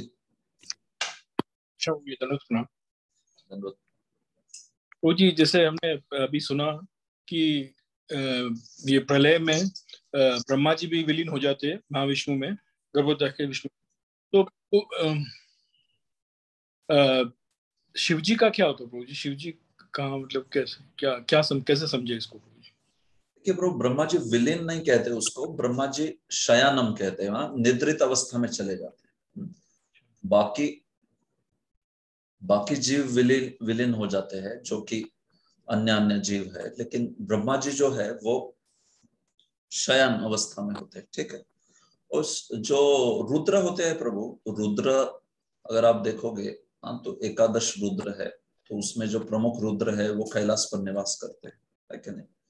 और फिर उनके भी जो प्रमुख है वो सदाशिव है जो मूल कैलाश में निवास करते हैं। एक इस जगत में कैलाश है एक मूल कैलाश है जो आध्यात्मिक जगत में ही माना गया है। हाँ, तो ये ये जो इस जगत के इस जगत के जो रुद्र है हाँ, तो वे रुद्र भगवान को पूरे ही प्रलय में सहायता करते हैं हाँ, तो जब प्रलय हो रहा होता है प्रलय के काल में मतलब ब्रह्मा जी की रात्रि में। तो एक्चुअली शिव एक्टिव रहते हैं तब क्योंकि वो तो प्रलय का भाव प्रलय का ये है ना काल। तो उस काल में फिर सब कुछ जलाकर और फिर बाद में पानी से आप्लावित करके आ, वो सब कुछ कार्य करने के बाद जो है फिर शिव जो है वो कार्य प्रलय का होने के पश्चात शिव मतलब अपना कार्य समाप्ति करके सिद्ध करके फिर बैठ जाते हैं। तो जो बाकी सब जब निद्रिस्त अवस्था में है देखा जाए तो शिव जी कार्यरत है एक्चुअली शिव जी जो है वो प्रलय का कार्य कर रहे हैं। इस प्रकार से इसका वर्णन किया गया है। ठीक है? प्रभु। प्रभु जी जो फिर जो सदाशिव है उनका क्या है? वो किसी प्रलय तो, हाँ, वो तो प्रभु इस इस जगत में वो कुछ कार्य करते नहीं वो हमेशा चौबीसों घंटा वो भगवान का गुणगान करते रहते पार्वती के साथ में और अपने रुद्रगणों के साथ में। वो तो एक वैकुंठ जगत ही है, कैलाश। वो वैकुंठ से भिन्न नहीं है। बस वहाँ पर शिव जी है, वो अपने पार्षदों के साथ नित्य भगवान का गुणगान करने में लगे रहते हैं। तो वो जो वहाँ के अधिष्ठान, अधिष्ठाता देवता है, आप कह सकते हो कि जो प्रमुख है प्रिसाइडिंग डीटी है, वो शिव जी है। लेकिन वो शिव जी भगवान के ही गुणगान में है तो उनका तो कुछ कार्य नहीं होता है, वे ये सब सारे पृथ्वी, सृजन सृजन मतलब प्रलय आदि में कार्य करने के लिए रुद्र ही होते हैं ना, एकादश रुद्र। वो सदाशिव नहीं आते कभी, बिल्कुल यहाँ पे। वो तो हमेशा ही गुणगान में रहते हैं भगवान के। लेकिन रुद्र जो है वो प्रलय के वक्त अपने एकादश रूप प्रकट करते हैं, प्रलय नहीं होता तो एक अकेले रूप में रहते हैं, शिव के रूप में, शिव और देवी। इस जगत के प्राकृतिक कैलाश में निवास करते हैं। तो ये ये बात है ठीक। ओके। ठीक है अन्य कोई प्रश्न? सुंदर के शो प्रभु बोली हाँ हरे कृष्ण प्रजन प्रणाम। आवाज़ आ रही प्रभु जी हाँ जी। हाँ प्रभु जी जैसे कि दो तीन प्रश्न थे मेरे। एक तो जो बताया कि ऐसे जीव है। तो जीव, जैसे बताते हैं, कई बार कि जीव जब आध्यात्मिक ऐसे ऐसे आते हैं तो ब्रह्मा जी बन के नीचे उतरते पहले ब्रह्मा बनते हैं, उसके बाद ऐसे कई बार ऐसे लोग बताते हैं। फिर अलग अलग कैटेगराइज स्पेसीज में आते हैं।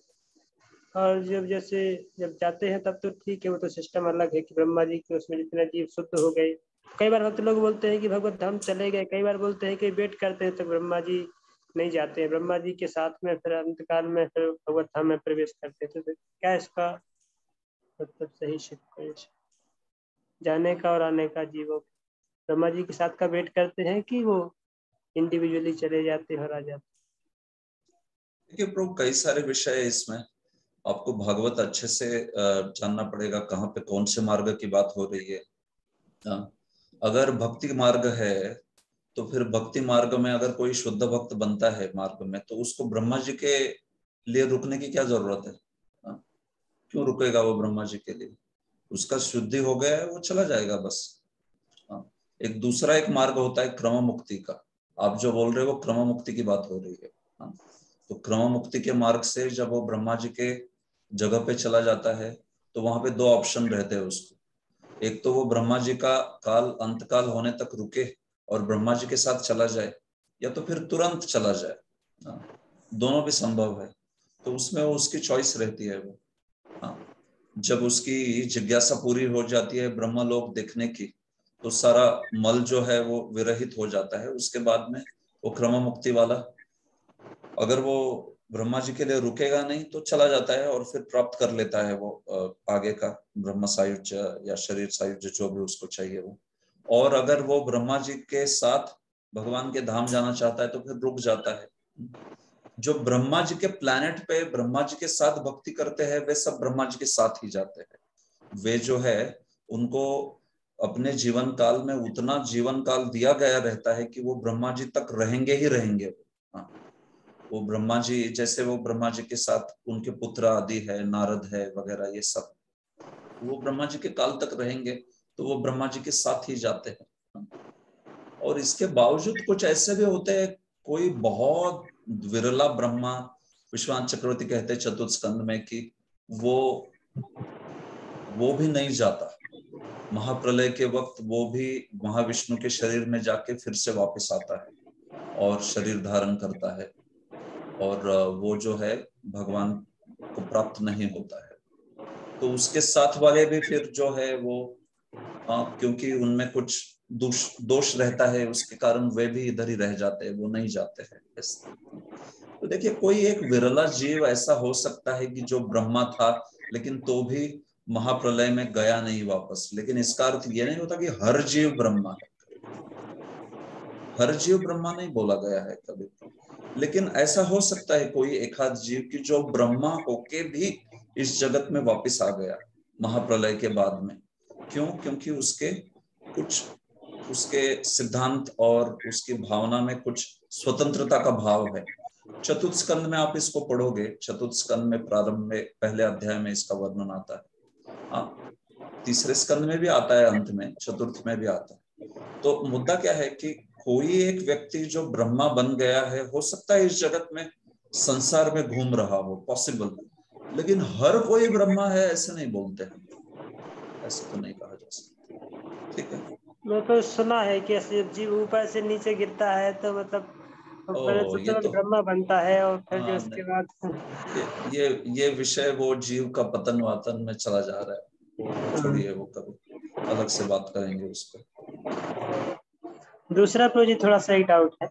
हम्म। कि कल मैं एक शिष्य पता है कि कोई व्यक्ति से बात कर रहा था तो ऐसे ही जीव के, शरीर के निर्माण के विषय में थोड़ा चर्चा हो रही थी तो हम चर्चा कर रहे थे कैसे भगवान अपनी बहिरंगा शक्ति के द्वारा जीव को एक शरीर देते हैं, पर उनका मानना था कि नहीं, कि भगवान की अंतरंगा शक्ति है, चित शक्ति का ही एक जो रूप है जो जीव को शरीर मिलता है। और उन्होंने, हमने पूछा तो उन्होंने बताया कि ऐसे भगवान की जो भूदेवी है, भूदेवी भगवान की शक्ति है, पर वो अंतरंगा शक्ति वैसे कौन है? तो बहिरंगा शक्ति नहीं है पर यहाँ पे प्राकृतिक जगत में दिखाई देती है कि वो पृथ्वी है करके। तो जो चित्त शक्ति है उसके द्वारा शरीर बना है तो फिर वो उसको भौतिक शक्ति कैसे बोल सकते हैं? तो इसके विषय में प्रभु जी कैसा मतलब है? तो आपने पूछा नहीं उनको चित्त शक्ति का शरीर है तो फिर उसका विघटन क्यों होता? वही थोड़ा सा मेरा उसके ऊपर फिर डिबेट हो गया उनसे तो फिर अलग हो गया। हमारा ऐसा हम अपना दृष्टिकोण रख रहे थे वो अपना उसके ऊपर। चित्त, इस जगत में शरीर जो है वो अचित वैभव में आता है हाँ। तो उसका कहना अगर उस व्यक्ति का ऐसा है कि जो देवी है, भूदेवी हाँ जो कि भगवान की शक्ति है, वो तो निश्चित रूप से चित शक्ति है हाँ।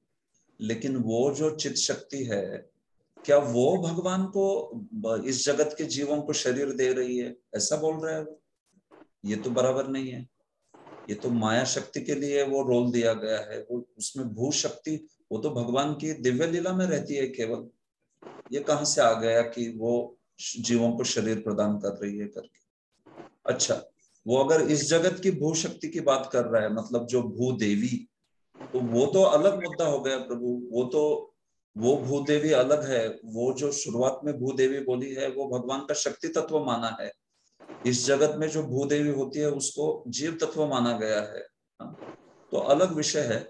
इस विषय को आप कृष्ण संदर्भ में पढ़िए। कृष्ण संदर्भ में भग, भग, भगवत संदर्भ में सॉरी भगवत संदर्भ में भगवान की शक्तियों का वर्णन है। तो उसके आधार पे आप उसको इस व्यक्ति से बात कर सकते हैं। ठीक है। भगवान की सोलह सोलह शक्तियाँ और फिर उसके विस्तार तो उसमें भू नीला सब कुछ आता है। तो ये थोड़ा सा मुझे एक और चीज़ लगा जैसे अभी तक हम जैसे सोचते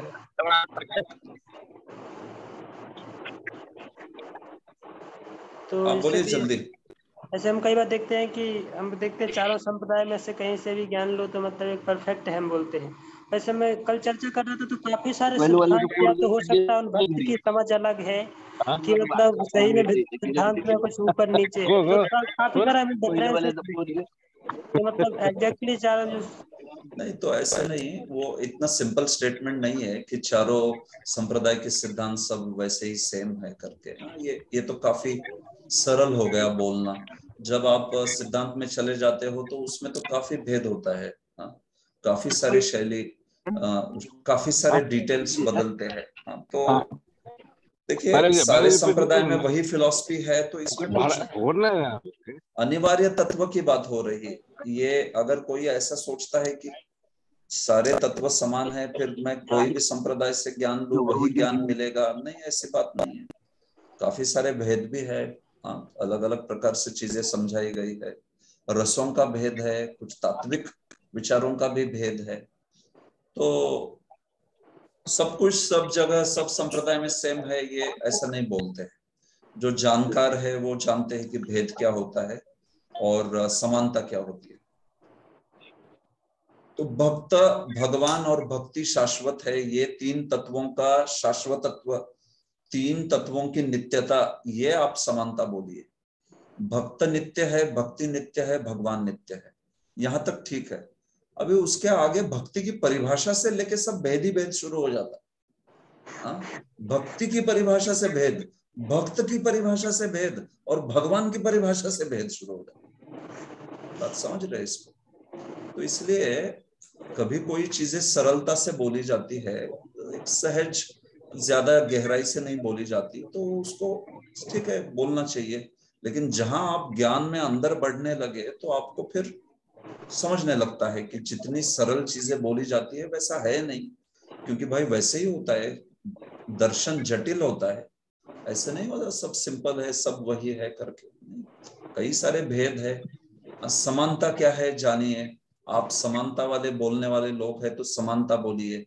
आप भेद बोलने वाले लोग हैं तो फिर भेद पे ध्यान देना पड़ेगा। आप देखिए आपका रोल कैसा है।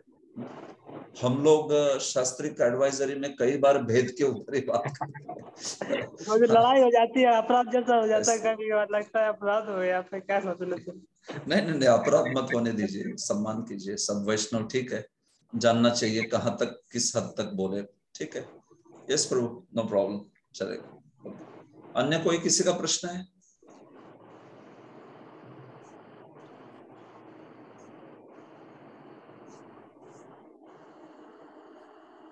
ठीक है तो फिर रुकते हैं आज के सत्र में। ठीक देखिए जितना गहराई से अध्ययन करेंगे ना उतना समझेगा कि क्या क्या है करके हाँ, ऐसे। दूर से सब कुछ समान दिखता है। नज़दीक जाते हैं तो फिर दिखने लगता है अरे भाई इधर तो ये भी है ये भी है ये भी इसका अर्थ ये नहीं है कि देखिए, चारों भी संप्रदाय प्रामाणिक है ना लेकिन उस प्रामाणिकता में उसका तत्व, उसका रस, अपना विचार है, वो काफ़ी बड़ा होता है चीज़ें। आप भक्ति की परिभाषा पे केवल श्री संप्रदाय और वैष्णव मतलब गौड़ीय वैष्णव संप्रदाय पे बुक्स लिखे जा सकते हैं, केवल भक्ति की परिभाषा क्या भक्ति है? भक्ति किसको कहेंगे? इसके ऊपर। तो ये बात है, वो हर एक संप्रदाय में एक पर्टिकुलर प्रकार का प्राकट्य होता है। और जो गहराई में पढ़ना चाहते हैं उनको ये सब चीज़ें समझनी चाहिए स्वीकारनी चाहिए और जानना भी चाहिए कि भाई चीज़ें इतनी सरल नहीं होती है सिंपल नहीं होता सब कुछ। डेप्थ में जाते हैं तो कई प्रकार के विषय आते हैं उसमें कई पहलू होते हैं ऐसे। तो चारों संप्रदाय में भगवान ने अलग अलग प्रकार का रेवलेशन प्रकट किया है। आप उसमें से कोई भी एक लेके चलिए आप भगवान के धाम जा सकते हो। इसमें कोई आ, उसमें कोई संदेह नहीं है। लेकिन जहाँ बात आ गई, समन्वय वगैरह, वो बहुत उच्च विषय है। उसके लिए बहुत अच्छे से पता होना चाहिए, बहुत गहराई से पता होना चाहिए, फिर समन्वय कर पाएँगे आप अलग अलग संप्रदायों के अलग अलग सिद्धांतों का। तो ऐसा समन्वयवाद के लिए प्रभु काफ़ी गहराई से जानना पड़ेगा आपको चीज़ें, फिर आप समन्वय कर पाएँगे ठीक? ओके। छोटा सा एक और डाउट क्लियर कर सकते हैं। नहीं अभी ठीक है अभी रुकते हैं। आपका डाउट छोटा नहीं कल कल पूछ लीजिए। ग्रंथराज श्रीमद भागवतम की जय। श्रील प्रभुपाद की जय। नेताय गौर प्रेमानंदे।